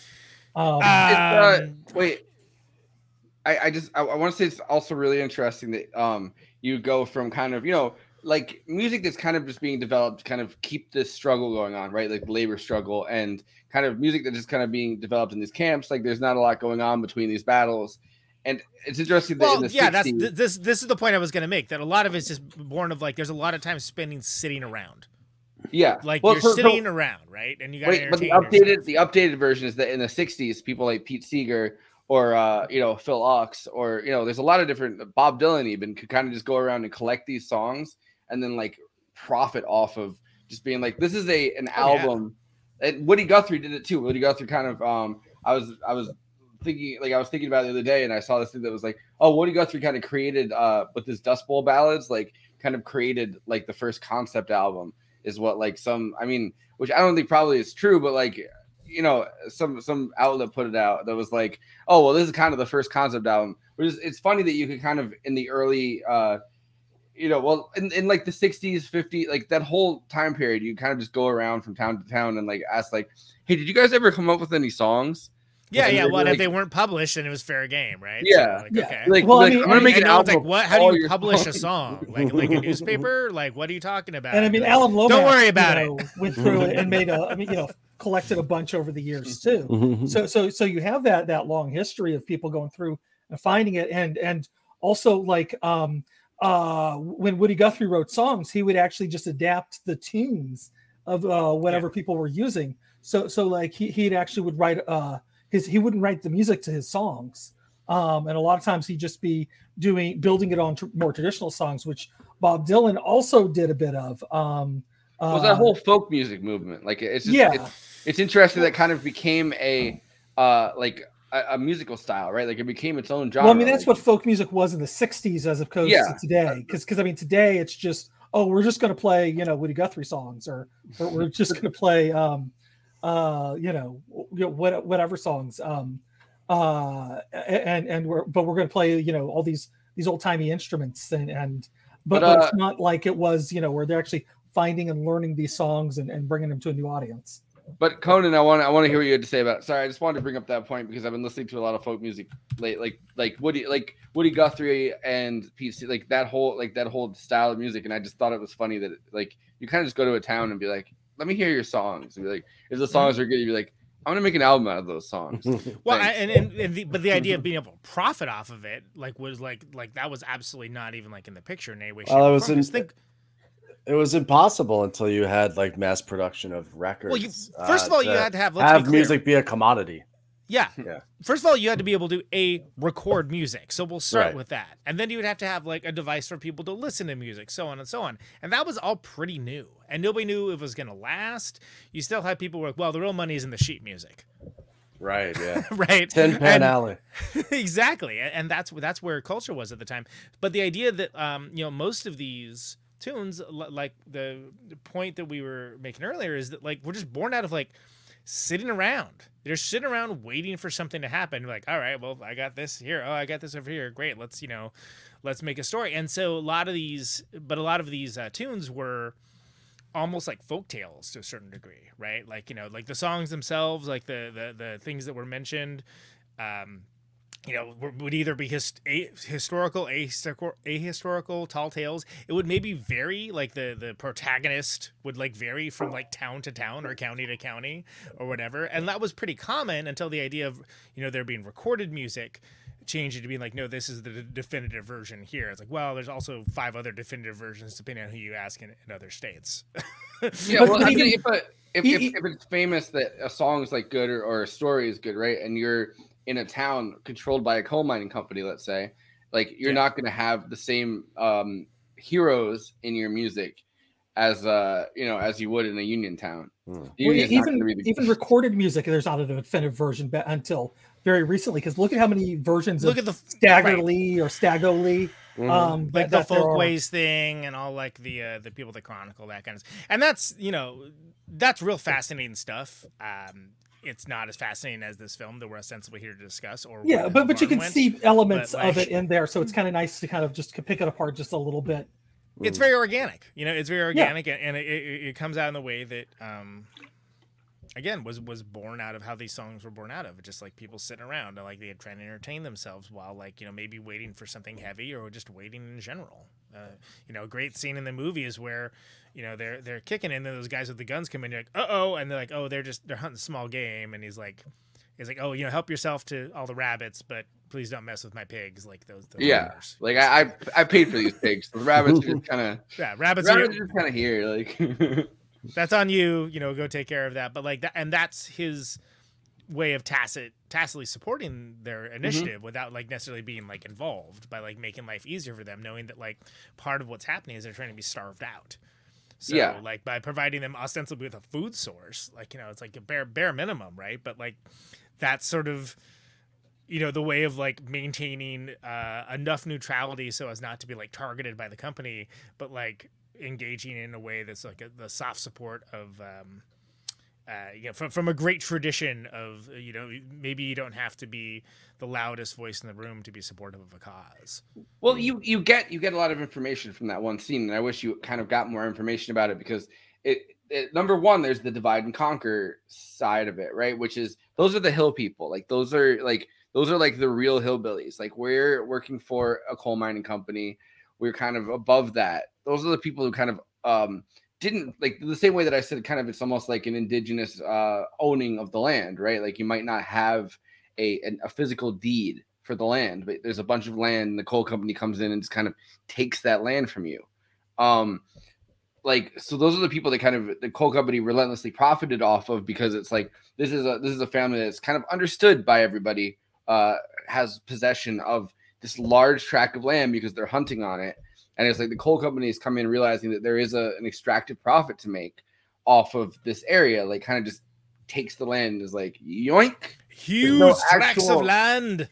Just huge tracts of land. Anyway, but um, no, but they kind of understand like this, like um, by creating kind of this feudal order because they're not uh, industrialized yet. Um, it's like they they they're they've understood that like there's probably not a real deed to this area. This is an area that's kind of going by their own rules and by using state power to just be like, yeah, this is our land. We'll give you a tiny bit of money for it.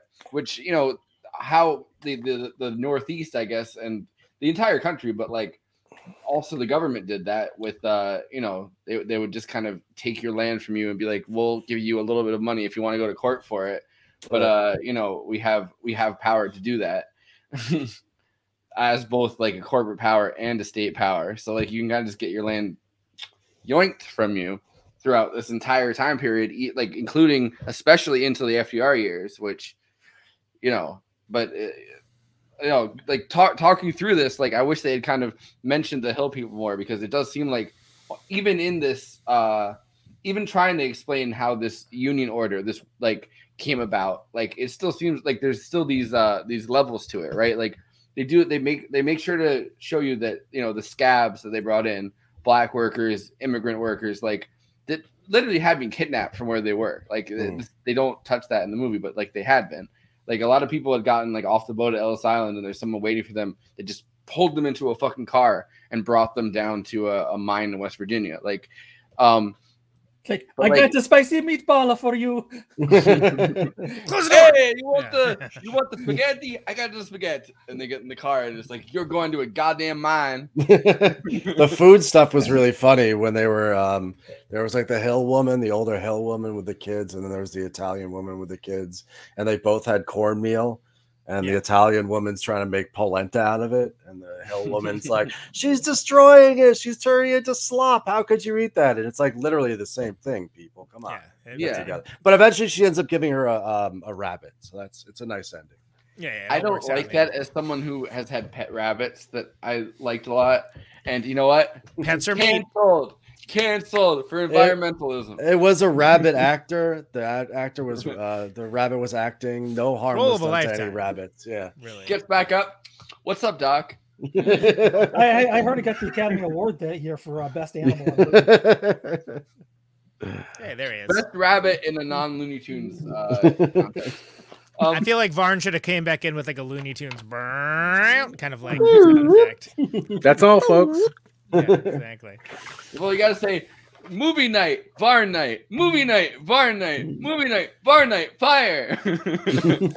Can we? Um, so we got into a discussion a while ago about uh, the Will Oldham character, the Danny Radnor, the the like the young preacher who's clearly like sides with the, the union guys, and like I found one scene in this film to be very intense, which is the way where he's basically like he's trying to get across that there's danger and like tells the story of Joseph to do so. Yeah, good scene.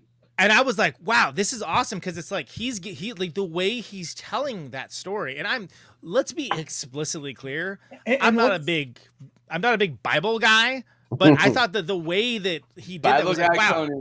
But the, but the way that he does it in a way that's like just surreptitious enough that those those uh the detectives are in the back like you know hooting it up trying to intimidate people and they're not that really was really smart yeah and, and right after they were so mocking cool. him for not knowing the bible So, Yes. Yeah. you know, th- that's what made that scene even better. Was just that you know, just like, oh, you, you're awfully young to be a preacher. You know anything about Yeah. the Bible? What are you, a You just squirrel know- preacher? You're preaching to the squirrels? And, and we're they're just like the rabbit, we're rabbit preachers over here. We, you know. I mean, he was able to deliver a complicated story and out an informant by a biblical allegory. That's Yeah. pretty impressive. Which is Pretty impressive. pretty stunning. Like that's that's honestly Without that's, mentioning Judas, I might add. right. Yeah, no, that, that was great writing right there. I I, th- I thought that that you know there's a lot of like really cool moments in this, but I thought because like the like the stakes of what's happening, which is like ultimately this is a small room, right? But it's like there's people in and out of the room in mortal danger if he says the wrong thing. Well, yeah, I mean, and as, I was like, know, God, that's so great that he, he pulls that off.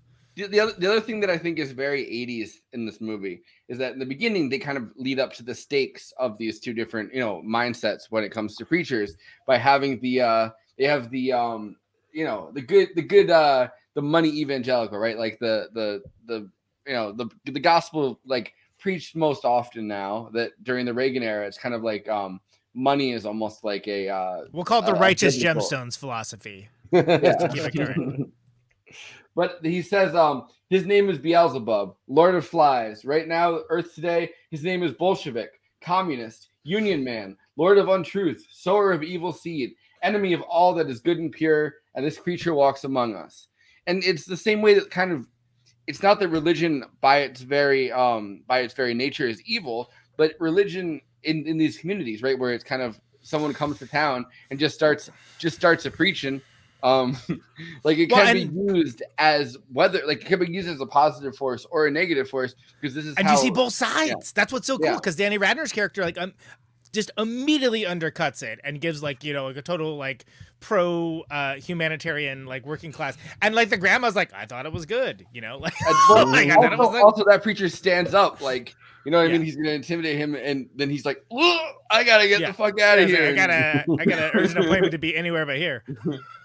I think that Jesus would have been in the union and the guy's like and he's like all right well that's my time That's I, all, folks. right. Sorry, what were you gonna say, Varn?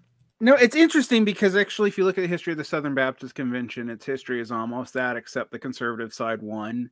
Um, Right. The early progressive movement was highly tied up in the early evangelical movement. I mean, there's William. There's a reason why William Jennings Bryan is important to both.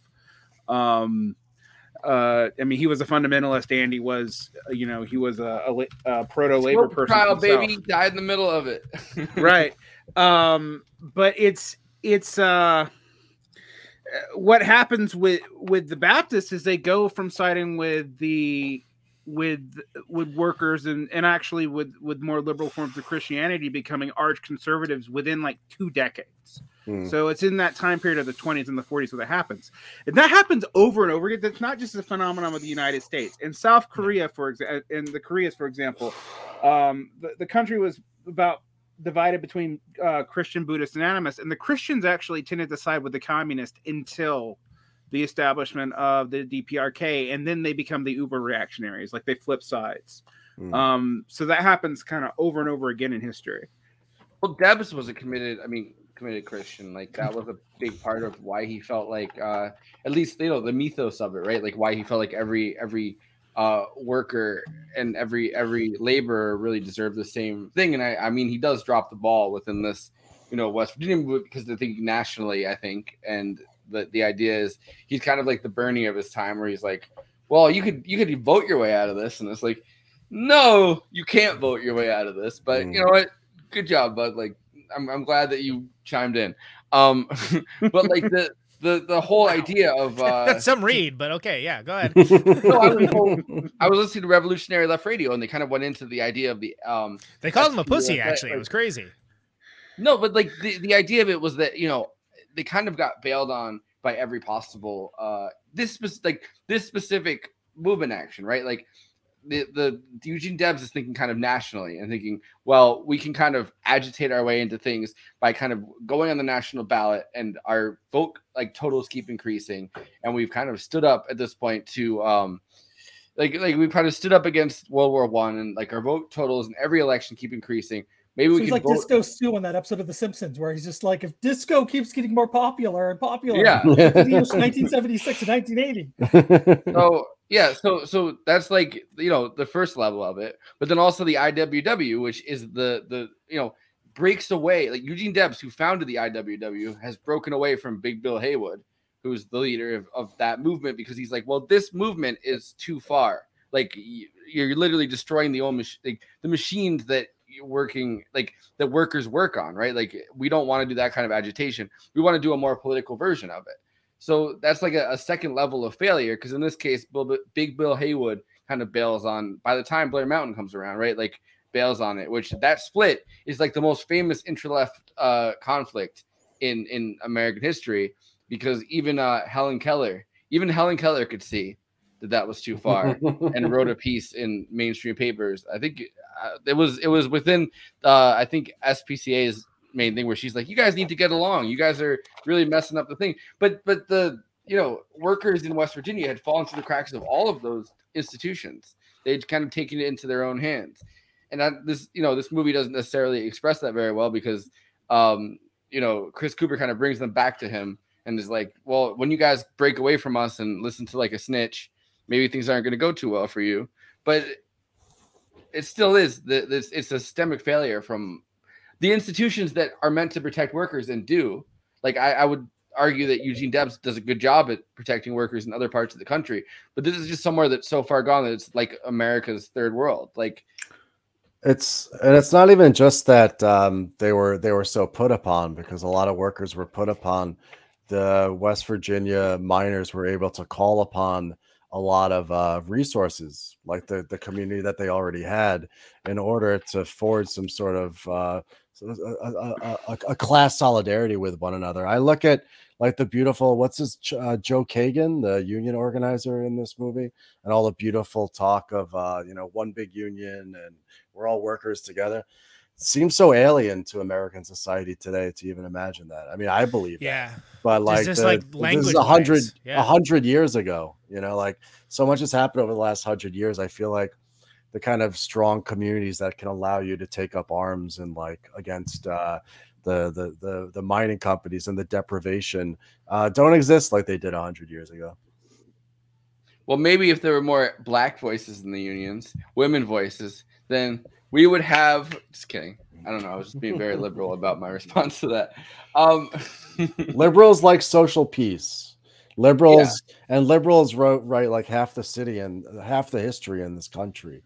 So Yeah, that's and- why and- the, the Yeah. Meta, Matewan story is not like the popular one in the U.S. Yeah, the Chris Cooper character though ends up being both the wobbly voice and the liberal voice, which does act. This is my one fault with the movie because Because he's a pastiche, basically. he's a pastiche between two different kinds of activists, and part of what he's saying, I mean, ultimately they they side with uh th- they have to they side with guns because they have to and i also like the fact that by the way if anyone's ever organizing the first person who tells you to blow shit up is almost always a Always fed. a cop, yeah. Like, a cop. like, it's just just Yeah. like that, that's just a truth you should just accept that It's it's, Um, it's it's interesting that in this movie though, right? Like the Palmer Raids had just started a year before. And I know Mhm. you're a, a scholar of the old Palmer Raids, uh, Varn, but you know this kind of idea that like no, like which had been co- like going on within corporations for quite a bit, like but you know this Pinkerton idea, but like we can kind of just put feds in there. Like it seems like in this movie, like there's one fed, which is really cute because I feel like like later on, right, like decades later, it would be like eight feds and two actual revolutionaries, and they'd be like the eight feds are all like, we should blow something up. The other two people are like, well, I guess we should listen to democracy, but like I don't really want to. Like I feel like blowing something up is a bad idea. And there's Yeah. people that don't know the rest of them are feds working for different agencies, being like, no, we should blow something up. And the other guy's well, like, it's it's, it's like when the when bots start talking to each other. Yeah. and, they, and they- it's like a feedback loop.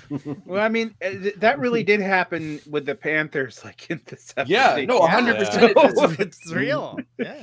and the Um, Panthers connect to this too because of that same idea of like you know community aid, mutual aid is happening within uh you know West Virginia communities because they had nothing else, and in the same way that like in in certain you know block by block or neighborhood by neighborhood, uh that that idea is going on within within the Panthers decades later, and I think that you know John Sayles is probably definitely commenting on on on the connections, right? Like uh, these connections are going on within the same uh, sphere.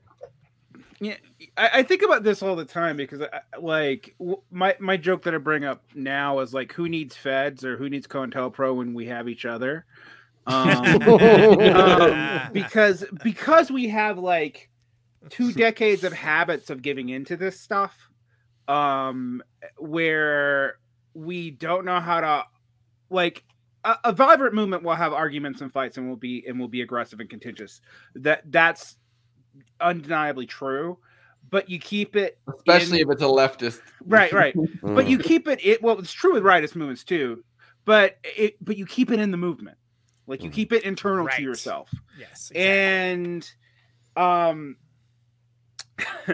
and and that that they are ma- they managed to do that and then this is why that uh that uh Baldwin Felts guy does not end up breaking them up is because they are able to keep that contention because there's contention even after they out the guy. I mean the, the, the the move to violence is something it takes them a long time to do and you know, ironically, in this movie, the red is the person who opposes the violence the whole time because some weird story about Mennonites once. But he's a he's a he's a, he- he's a I might be a red, but I, I guess that's the name for me kind of guy. which Yeah, yeah, I do yeah. think I do think is accurate to some to some uh organizers going from place to place that are just like I don't really know where I fall in this. I've been listening to a lot of Joe Rogan. He's been telling me one thing, and you know, to, to be fair though the mennonite story is an evocative one. Like it's definitely like you know that that's like a full stop moment of like oh interesting. Because there's because first of all uh, for, if you're talking about collective action that talks about people that you wouldn't expect to be participants in collective action can still participate in collective action in their ways and they have their own motivations and understanding that can be useful. And the other thing is that it helps illust- you know helps illustrate like the larger the larger point of resistance and different types of resistance and so on and so on. and the pacifism to World War One, which the uh, coalition, which I would say is a very similar coalition for the Vietnam War, like you know what I mean, of, of people that are like reactionary, uh, you know, evangelicals, or like in, in some ways, like you know what I mean, but like also like the religious fervor in some sects of evangelicalism or uh, Quakers, which you know Nixon was Nixon's mom was a Quaker, like you know what I mean, like these different groups of people that might be um, socially reactionary or uh, driven by religious fervor to be like, well, maybe we maybe God doesn't want us to kill people in a different country. They can kind of ally up with uh, socialists or like, well, maybe there's a humanism in all of us that you know, and and Debs kind of is a is an interesting nexus point for that because I think Debs Yeah. human, humanism is based around religion. Well, I and- do- and, I like- am glad he brought up the Mennonites because for my birthday one year, uh, Oh, my friends God. lost It's another DC. story. got lost in DC because we're all following the Mennonites, thinking they knew where the museum was, and they weren't even going to the museum to see George Lucas and Steven Spielberg's um, paintings. that that, that right, they well, bought. with- uh, with that yeah, reference, we were we to see should Norman Rockwell exhibit. With that reference, you probably go to Letterboxd one liner. Conan. Oh yeah, the, one- the one thing I just want to say is is as a Yeah. as a secular humanist, which I am by law required to announce, uh, I think it's a good reminder that uh, you know you can find political alliances with those with religiosity, and it's another good reason why Bill Maher is never a good spokesperson for atheism. You know, Mm, or mm. or Richard Dawkins, or you know, don't get me started on any of that, uh, or get Renee Don't Ruin get me started. started doing a Bill Maher impression where I go, listen, okay, there's a God, and he wants you to listen to the laws. He's, there's no God. There's no God. Just, re- just won't- remember, just remember that new atheism, in its own way, shape, and form, was was an, an adjunct to the imper- American imperialism in the 2000s. It Yeah, well, arose it- in order to yeah. explain why they hate us in Afghanistan and Iraq.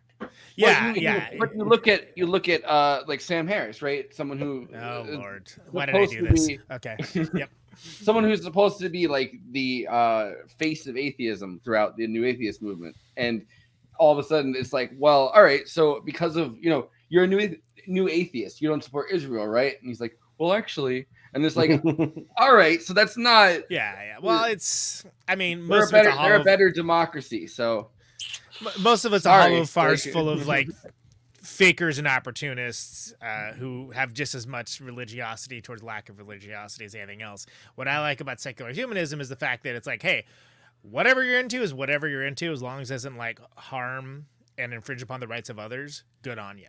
which I think is a Mhm. better like way of life ethos. But Which uh, uh, you know, harm is also something that can be kind of a uh, elusive concept, I guess, because there are people, you know, libertarians are like, well, do no harm, and it's like, but like you're literally, you know, trying to get serfs to exist, and it's Well- like, yeah, well, that's not harm, that's profit, you know. So Road no, I, I, is our book. I I too am a I, I would say a secular humanist, but like in a socialist way, and not in like you know what I mean. Like I think that there is a all of these ideas can get co-opted, and I think this movie bringing it back to this movie, I think this which we movie are does it well. discussing. Yes.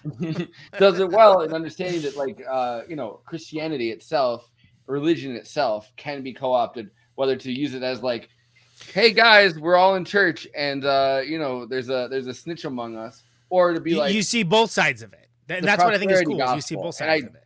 Yeah, you, the pros- which by the way I didn't remember the name of, and I was trying to hint at it without. But the prosperity gospel, like the you know, like you like God doesn't want you to unionize, or like God Jesus would want you to unionize, and that's why we should do it. Like both ideas can exist simultaneously because this doctrine is not, uh, you know, Marx didn't write it.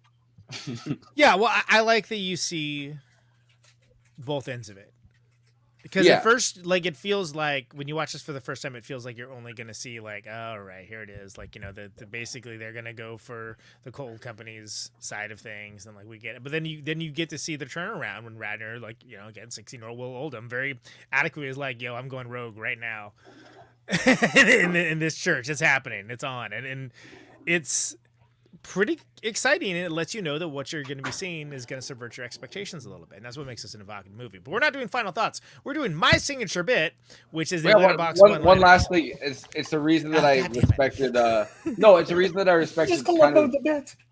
the last the last thing is the reason that I respected Michael Brooks' version of I mean, you know, also he, he was my employer, but the Michael Brooks version of a left uh thought versus like the new atheist version of a left thought, which is like um religion itself is evil, or like, well, religion can be u- used for good or evil. We should have a spiritual sense of our own humanity and you know, an empathy for other people based around that if people do support that. I feel like this movie accurately express that. But To- totally shows up one-liner. personally yeah personally i don't feel like you need spiritualism for empathy but that's a completely separate discussion letterboxd yeah, one that's not what I was trying to say, but no, yeah. no, no. But I think it's an important discussion that I don't want to have right now.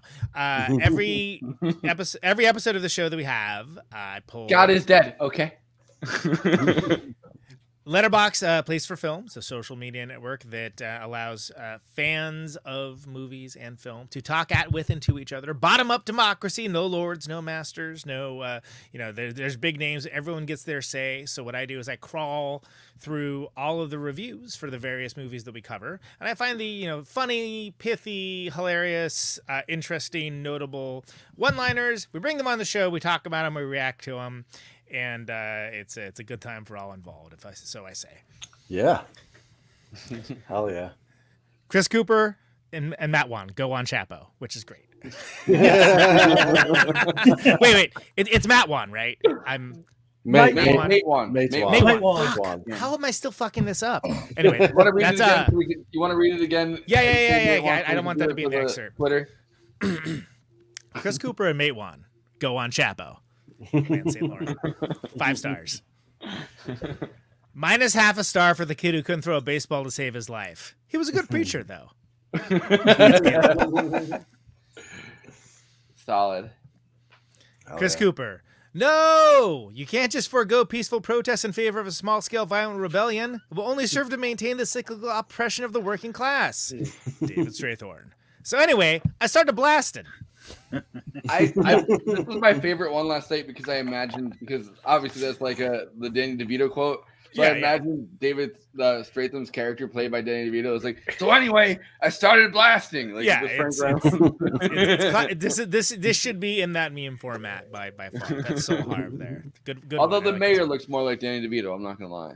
Yeah, yeah. Being a, being in a union is pretty fucking badass. Say on, yeah, brother. Spitowski. Hell yeah, brother. Oh yeah, this is a great one. This movie fucks. Cat Brady. I like how every movie we've done has had one of those. Like every Yeah. movie we've done, someone's like, "This movie fucks." this is one of my favorites.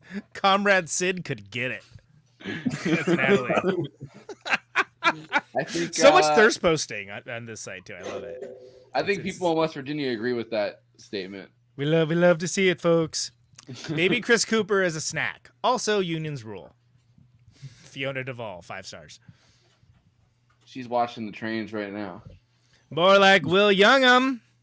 Tommy Boy 420 with, with the two facts stated. I read somewhere that they're showing this in high school history class. I bet Chad fucking hates this movie, and that makes me happy. Fuck you, Chad. I will say they are not showing this movie in high school history classes.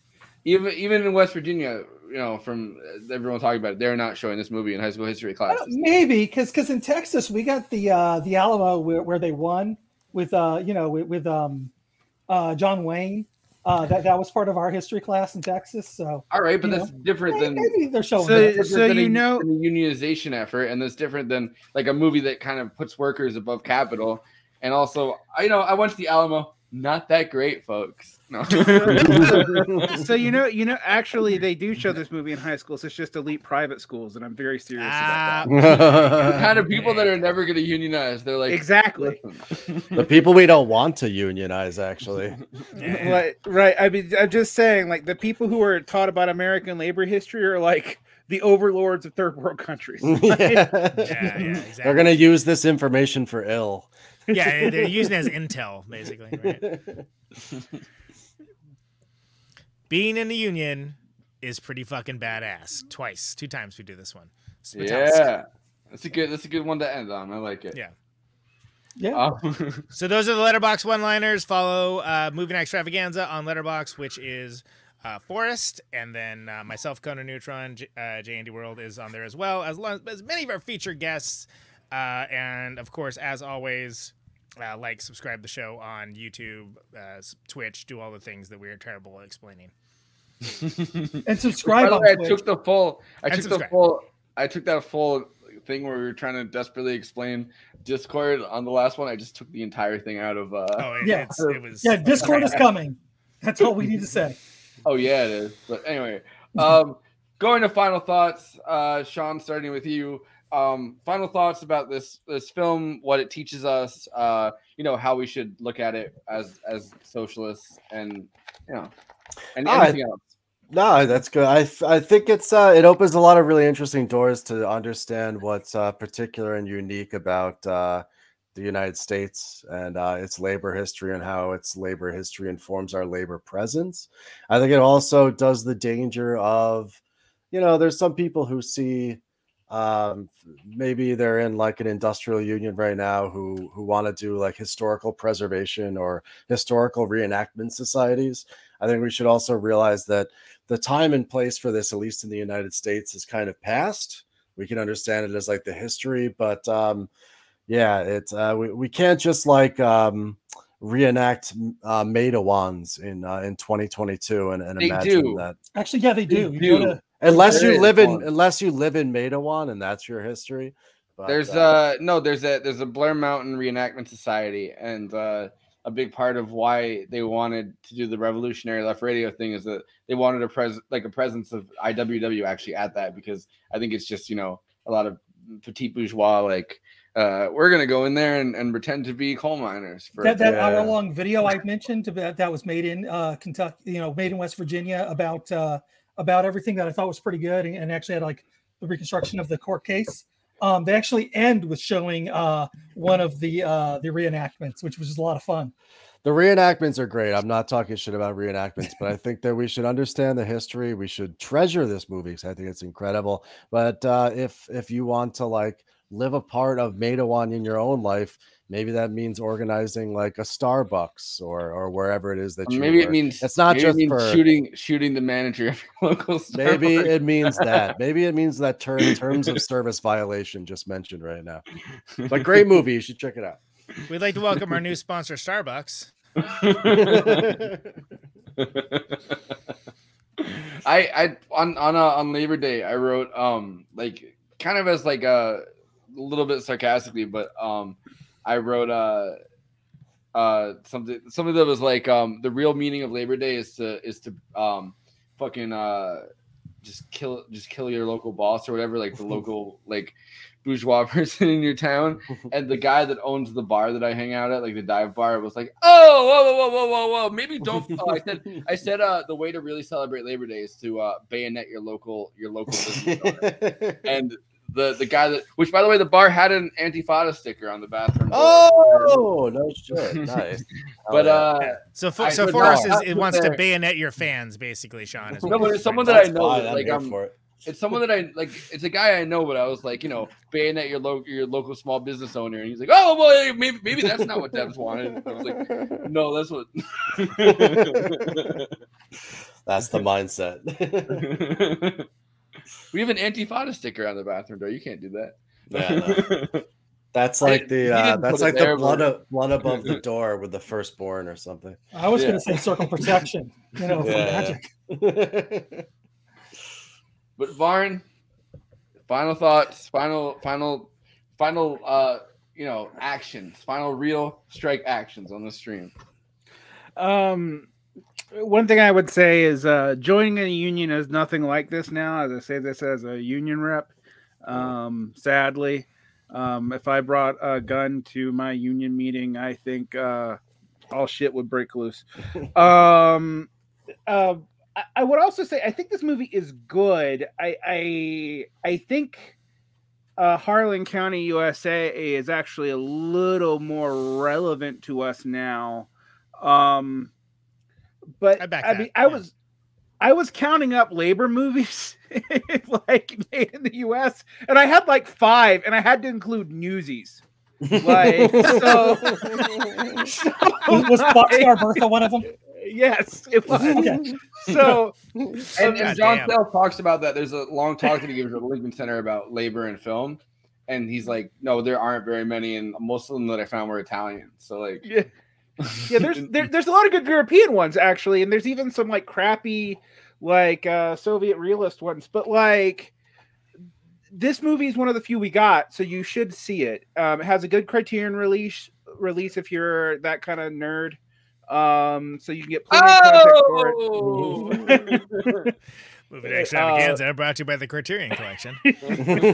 um, and the Uh, small the small business owner that just got bayoneted. Yeah, this, this got blasted. the former antifada listener. yeah. so um so we can uh, collectivize that eventually i suppose um the, i think the movie i think the movie's pretty good i think it's very well shot it's very well acted um i would i would say though go read up on on the battle of blair mountain because this is just the very beginning of it and it gets a lot wilder Yeah. This isn't even. I mean, this isn't even really the beginning of it. This is kind of the story of the mythos, and he doesn't portray it very well. Of of uh, Sid Hatfield, who Mhm. becomes the martyr that kind of makes the Battle of Blair Mountain explode when he gets assassinated on the court steps. It gets a line in this movie. I like this movie a lot, but like you know, it's it's interesting that like the the real battle comes from the fact that it gets national attention when uh you know he's assassinated on the court steps. This movie's like, by the way, after this two minute battle, he did get assassinated on the court steps. I, I- ye- like, yeah and also the miners lose by the way just Mm. just uh just fyi which this movie does not let you see so they don't want you to know. They don't. They, They you know. The miners lost. they The win in the miners end and then they lose again by the 1970s and 80s. Losers, haters, the miners. uh, Conan, final thoughts. Well, most relevant final thought is I fucked up when I was sending over the letterboxd one-liners, and I forgot the one that's most relevant to this discussion, uh, which is this one. Imagining packed movie houses where audiences burst into rapturous applause at Mary McDonnell wasting a union-busting copper with a shotgun, that was pretty awesome Yeah. which it actually ties into uh, your whole thing with social media for us. So, like, I'm dou- doubly sorry that I didn't proofread my uh, my, my work before I sent it over. From, So from that Molly. Ringworm, which is a great name. Molly Ringworm, yes, is, is who did that. Only three and a half stars, though. which is whatever. which is probably how Molly Ringwald uh, used her appearances now in John Hughes movies after that uh, relentless takedown of John Hughes movies that she wrote in some mag- I remember it was Vanity Fair Or True. So, so first off, let me just answer the fact that I think that um, you know, do, does it show everything in in in the battle? Does it show everything in like the massacre? No, of course not. And and the thing is, it's it's a movie. It's a fucking movie, guys. It's a fucking movie. Like and, and like, like I think that it wasn't a I- documentary. I, I think about the like, would you like to know more and Starship Troopers for that? There's a lot of would you like to know more opportunities here, and I'm so glad that like, why was he uh, called Few Clothes? Yeah, why exactly? Where's if it was a prestige television series, maybe there would be like a whole like episode on on that, right? And Yeah, like fantastic. Go do that. why Some- he was called Few. I looked up online real quickly while we were out doing the show, and I couldn't find anything. Why? he By the way, they don't portray it very well, but uh, Few Clothes Johnson was a um, union organizer who uh, was one of the most uh, you know militant in in the area and was involved in this. But um, they had a trial at one point where uh, it was some there was something eleven. I forget which uh, which union it was, but he was one of the people that were like that was actively uh, involved in unions. So he wasn't just you know James Earl Jones kind of walking into the place and being like. I No, played no, Darth Vader. Want me in your union? no, no. Well, well, so here's so here's the deal, and here's where I was going with all that is that I actually think that um, this film is a great starting point for someone to do that manner of storytelling, which is much easier to do now. Like look Yeah. at like uh, you know John Bird, you know like uh, like I, like the fact that they're able to like make like a prestige TV show out from that guy and like his his his journey is fantastic. So this is an opportunity for someone uh, you know aspiring in the business that wants to do something cool and or important to tell that whole story. But i think this is a fantastic film. This is i mean john sayles he's even like like what's the worst thing he's made? Like silver city or something? Okay well that was like a heavy-handed anti-bush thing and like we get it. But like dude's pretty consistent honestly. Like he he's he's just to, just before it before you go into his. No, I wanted I wanted to put this point in here somewhere. So John Sayles, when asked during that interview, um, and I don't think I included that clip, they asked him, "Hey, could someone make a movie like this now?" And he says, "Yeah, yeah, they could. Like it just it, it depends on you know whether um somebody like he's like the, the reason this movie didn't get um you know treated the way that I think it should is because we didn't do it with a studio. We didn't do it. You know, we kind of Yeah. made our own budget. So like if independent somebody financing and all that yeah yeah, so he was like, if a if a famous actor wanted to make a movie like this with a studio that actually tells this full story, like they could. It just has to be, you know, someone's passion project, and they have to have the financing. So uh, that's the first time I think that anyone's really said, "No, yeah, this movie could be made today." Well, absolutely, and and to a certain degree, it almost it would be easier to get made today, and, and that's one of the Yeah. reasons why I'm so glad that Criterion like did the restoral of it because the restoral is amazing. Like if you watch on the YouTube, like you won't even notice a difference, but like uh, from from point A to point B, the restoral is incredible. Like, and that's a good example of the service that, that they provide. But I mean, this is. Yeah, does it does it show everything? No, but it, it's a totally it, it's a brutal take on real history, and you get like a window into it. You don't get the entire story, and that's fine. It's not there tell the entire story. But I think, as like Varn was saying, not a lot of labor movies out there. I throw "Sorry to Bother You" in there. Yeah, But, Yeah. like, Would you guys want to do a Harlan? Do you guys want to do a Harlan County, USA episode? I love Harlan future? County, USA. so Yeah, I'm I happy would love do it. to. Yeah, I was would going to ask Put it out about. for Uh, the yeah. I was going to ask That- about that is Buckeye on Bertha, Criterion Channel, we have, um, way. You know, Union Jesus over here, and, and it ends with the crucifixion. I love That's how Conan's perfect. final thought is like open discussion time because like we have our, our best ideas during my final thoughts. It's very very powerful. it always is. You're just so inspiring, Conan. I brainstorm. I Conan storm. You know what I mean? I storm the Uh, Capitol sometimes, but not always. yeah, exactly. When the conditions are right. Um, but but I think, I, and again, just talking about the oppressive yoke of the like the Stone Mountain Coal Corp, right? The like the company script, the horrible working conditions, et cetera, et cetera. It's all like laid out there, and it's not like done in exposition, like in a way of like, you know, like. Uh, you know the De Laurentiis Dune of like here's 20 minutes of explaining what's going on before you actually see anything. Yeah, and I appreciate that, and I think that again, Sayles does a really good job of of showing that. And uh, props to Will Oldham, 16 year old Bonnie Prince Billy. His character like kicks Hell ass. in yeah. He does. You know, totally kicks ass. And and and to be fair, if they didn't just pick one battle, right? If they picked the entire Blair Mountain thing, they would have to do 20 minutes of exposition. Like you would have to because there's yeah. too much. There's too much stuff in this, which is why. Uh, Unless you do and it as a again. Well, well, that's the thing is nowadays long longer form storytelling would be more prestige television, and like you could stretch it out even to a couple seasons or something if you felt so inclined. but like anyway, point of fact is that I think that for this coming out in 1987, this is bold. Like this is a bold Yeah. movie to come out anytime, but during the like the middle of like you know.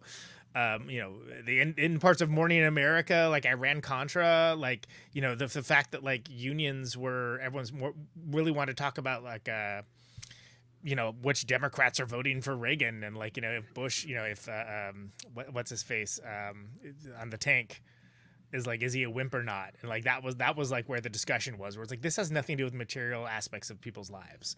Uh, bold thing to like basically show the founding of organized labor like when it was still was like can we do this? I think we can. Okay let's go do it. And the point Yeah, isn't mean, to show the wait, entire battle. The point is to show the beginning the like the origin right? And it so effectively does that. And it does it in a way that again i, th- I think only john sayles could have made this movie at least around that time i think a bunch of people could have made it in the 90s maybe even in the 2000s but like The nineties Fucking would it be a props. tech union? Jesus Christ! No, no, but I, I think that I think that the point you're making is 100 percent on point. Yeah. and I think that making it at the point where a union has just gotten crushed, and it's like, guys, like these, You- like there needed Yeah. to be that reminder right because because if you because at this point in the 80s only if you mention the word union the next word is jimmy hoffa Hmm. yeah, right like and that's all that people think about it and and and that had been so effectively framed as language that there really wasn't anything else in the conversation you know and and again i'm saying this i was 10 or something when that when that when that was the case so like it wasn't like heavy on my mind but again my dad being a union dude like i got to hear if you were in a plenty coal mine, it would have been because you were 10 and you were working in the coal mine now. Yeah. At that day and age, yeah. But Uh, no, I I 100% agree with those final thoughts, and I, and I think that it's bold to make it during this point for that very reason. Like, just being like, hey, do you remember like just because in the 80s it's like 60 years ago. Like, do you remember 60 years ago?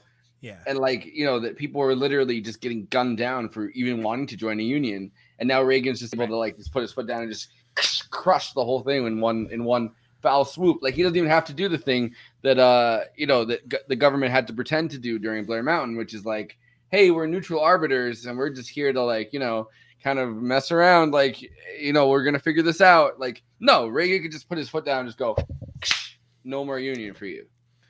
And then the, the union like it's fucked up because I didn't hear this part of the story where they literally uh, gave the union those benefits that they wanted, like Right. the, the year later. last thing you work they don't that's all you get to know about the enemy Mhm. I wish people at Tesla would. anyway, I don't I know. Not to single out a single. Where's Tesla Mary McDonnell and her shotgun when you need her, huh? I, I think I think I'm radicalized now after uh, you know having my Catherine Liu discussion yesterday about uh, Don't Look Up, where, where we've had that long, and watching Don't Look Up, and then wanting Nathan Robinson to stick around to talk about Don't Look Up, and then he had to get back to work or whatever British people do. I don't know. Ritz, tea. Got to have some crumpets. hello. No, I said hello. Nathan Robinson, I'm sorry. Please come back on. Andy World, final thoughts. Let's go. Yeah, um, Andy. I, I Yeah. did kind of want to springboard a little bit, like like you know, the '80s were like such an interesting transition because uh, if you if you watched, uh, I, I did a rewatch of WKRP a few years ago, and there was actually a union episode of WKRP, Hmm. um, which which you know maybe maybe Sean, you know, think about doing that for an episode of the Antifada. That yeah, fun. sure, sure. that Um, sounds fun. Yeah, they, yeah, they try to unionize. Um, and the thing is too is they actually captured like the the boss um position well, like like You're at telling other place. left podcasts to do movie episodes. You No, TV episodes, man. TV right, episodes. well, it's so, little so bit like you know, because like they have a good relationship with the boss for the most part, and he's like, well, why? You know, he's like kind of hurt. Like, why do you want to unionize? And you know, it's it's really good. But then you know, that was that was like you know 1980, and so by the you know by the time we get to the end of the 80s, we, we're we're um you know, union's a dirty word, and uh, somehow we got this movie, and I'm glad we have this movie. Um, I, I like this. Uh, I, I- do want to see um, more union movies, uh, uh, and I want to see Varn's list uh, because Hmm. I can only think of uh, Boxcar Bertha. And then I want to That's, copy a, that's Varn's actually, list in all and make honesty, episodes based on Varn's entire list, and then you know what? We'll never have to figure out our own show again. in all honesty, that would be a great use for Letterboxd to, to make a list like Yeah. that. And then someone may already have because there's a lot of stuff out there. Yeah, yeah, I'll check it out afterwards. Um, I so the, the the last thing that I wanted to say based on this movie is that obviously the Chris Cooper character is based on a, um someone that doesn't exist, right? Like, so the fact that they included the fact that uh you know this this lie that he had raped um that he had like raped or had people come in that raped a woman and that the union was gonna you know lead to a white woman who was just sitting around all day waiting for fucking trains to come and was upset that like uh you know the She lie was spotting. she was shooting up in the train station bathroom waiting for trains to come and then being like eh but no but like the fact that they kind of use the Emmett Till thing right? And it's not a uh it's not necessarily a, a black worker that it gets used on. Like it- it's kind of this the same thing where it's like no like union people are going to come in and just rape your white women. Like it's suddenly you're, you're transitioning it from a racial thing which it very much was. Like if civil rights happened within the south like every woman will get impregnated by like every white woman will get impregnated by a black man. The fact that it's kind of used in this case as like no unions are coming. All right well let's take that same line that we used uh, for emmett till or like that we used for these you know lynchings across the south and transition it to unions. Like i, I found that kind of profound. Like uh the fact that like it's it's like listen if if a union happens every white woman will be pregnant and then you'll have a whole bunch of union people running around and you know they're bad and and james earl jones is kind of sitting there listening to it and is understandably in that context uh, upset by it and then like is- when he mentions the point that like if word gets out that a black man was shooting at a white man, like Yeah. that would not be good. you know, I don't that's think the real quote, but I don't think the real few few clothes Johnson would have cared about because they were running around and literally, you know, holding up. uh He he was part of uh, uh, an eleven, which was a sure, sure. But we're talking about the fucking movie. I know. Right? So like, let's But talk about a scene in the movie. Yeah, all right, great. no, it, it's hundred percent accurate though. Like it's it's like listen, black people shooting a white man would be put out there to everybody in the South and and in West Virginia as like, listen, like these are uppity people. Like they're they're going around and you should just crush every black worker. Like it's divide divide and conquer based on the American public. And to have realized that um when when uh you know when Sid Hatfield got killed, right? Like the New York Times is is willing to sit there and be like, listen, it's good that he got killed, and these are like non-human entities. To think about how a, a black Sid Hatfield would have been treated by something like the New York Times is fucking insane. Hmm. Like it, it is this difference in in uh, divide and conquer uh, tactics that like the rest of the country would have probably sat there and been like, oh no, kill him, like which they did for Sid Hatfield, but like in a lot of like you know I mean like everything kind of failed for these workers, but like adding a racial dynamic to it is accurate. That's something that you know to be to be wary of. So to have that actually covered in the movie with that too was was interesting. So those, those are my final thoughts on it. Cool. All Yeah. right. All right. Well, movie night extravaganza, hanging out. This is a big deviation from the rest of our movies, except the fact that it's made in 1987, which does gel with the rest of our uh, Yeah. 80s fantasy movies. If if you want to hear a bunch of other movies that have nothing to do with this, tune in for the rest of the shows this month, which all 80s fantasy movies. And I'm not kidding about that. we just, uh, aw. This is Shug. Hi.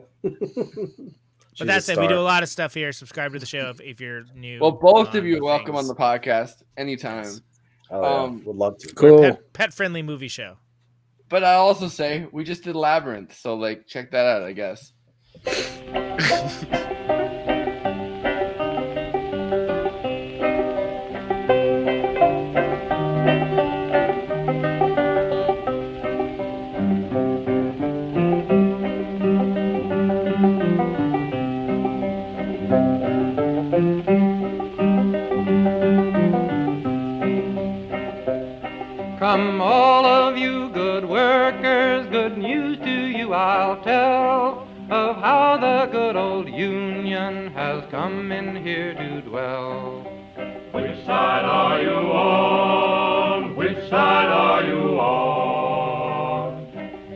My daddy was a miner and I'm a miner's son. And I'll stick with the Union till every battle's won. Which side are you on? Which side are you on? They say in Harlan County there are no neutrals there. You'll either be a Union man or a thug for J.H. Blair. Which side are you on? Which side are you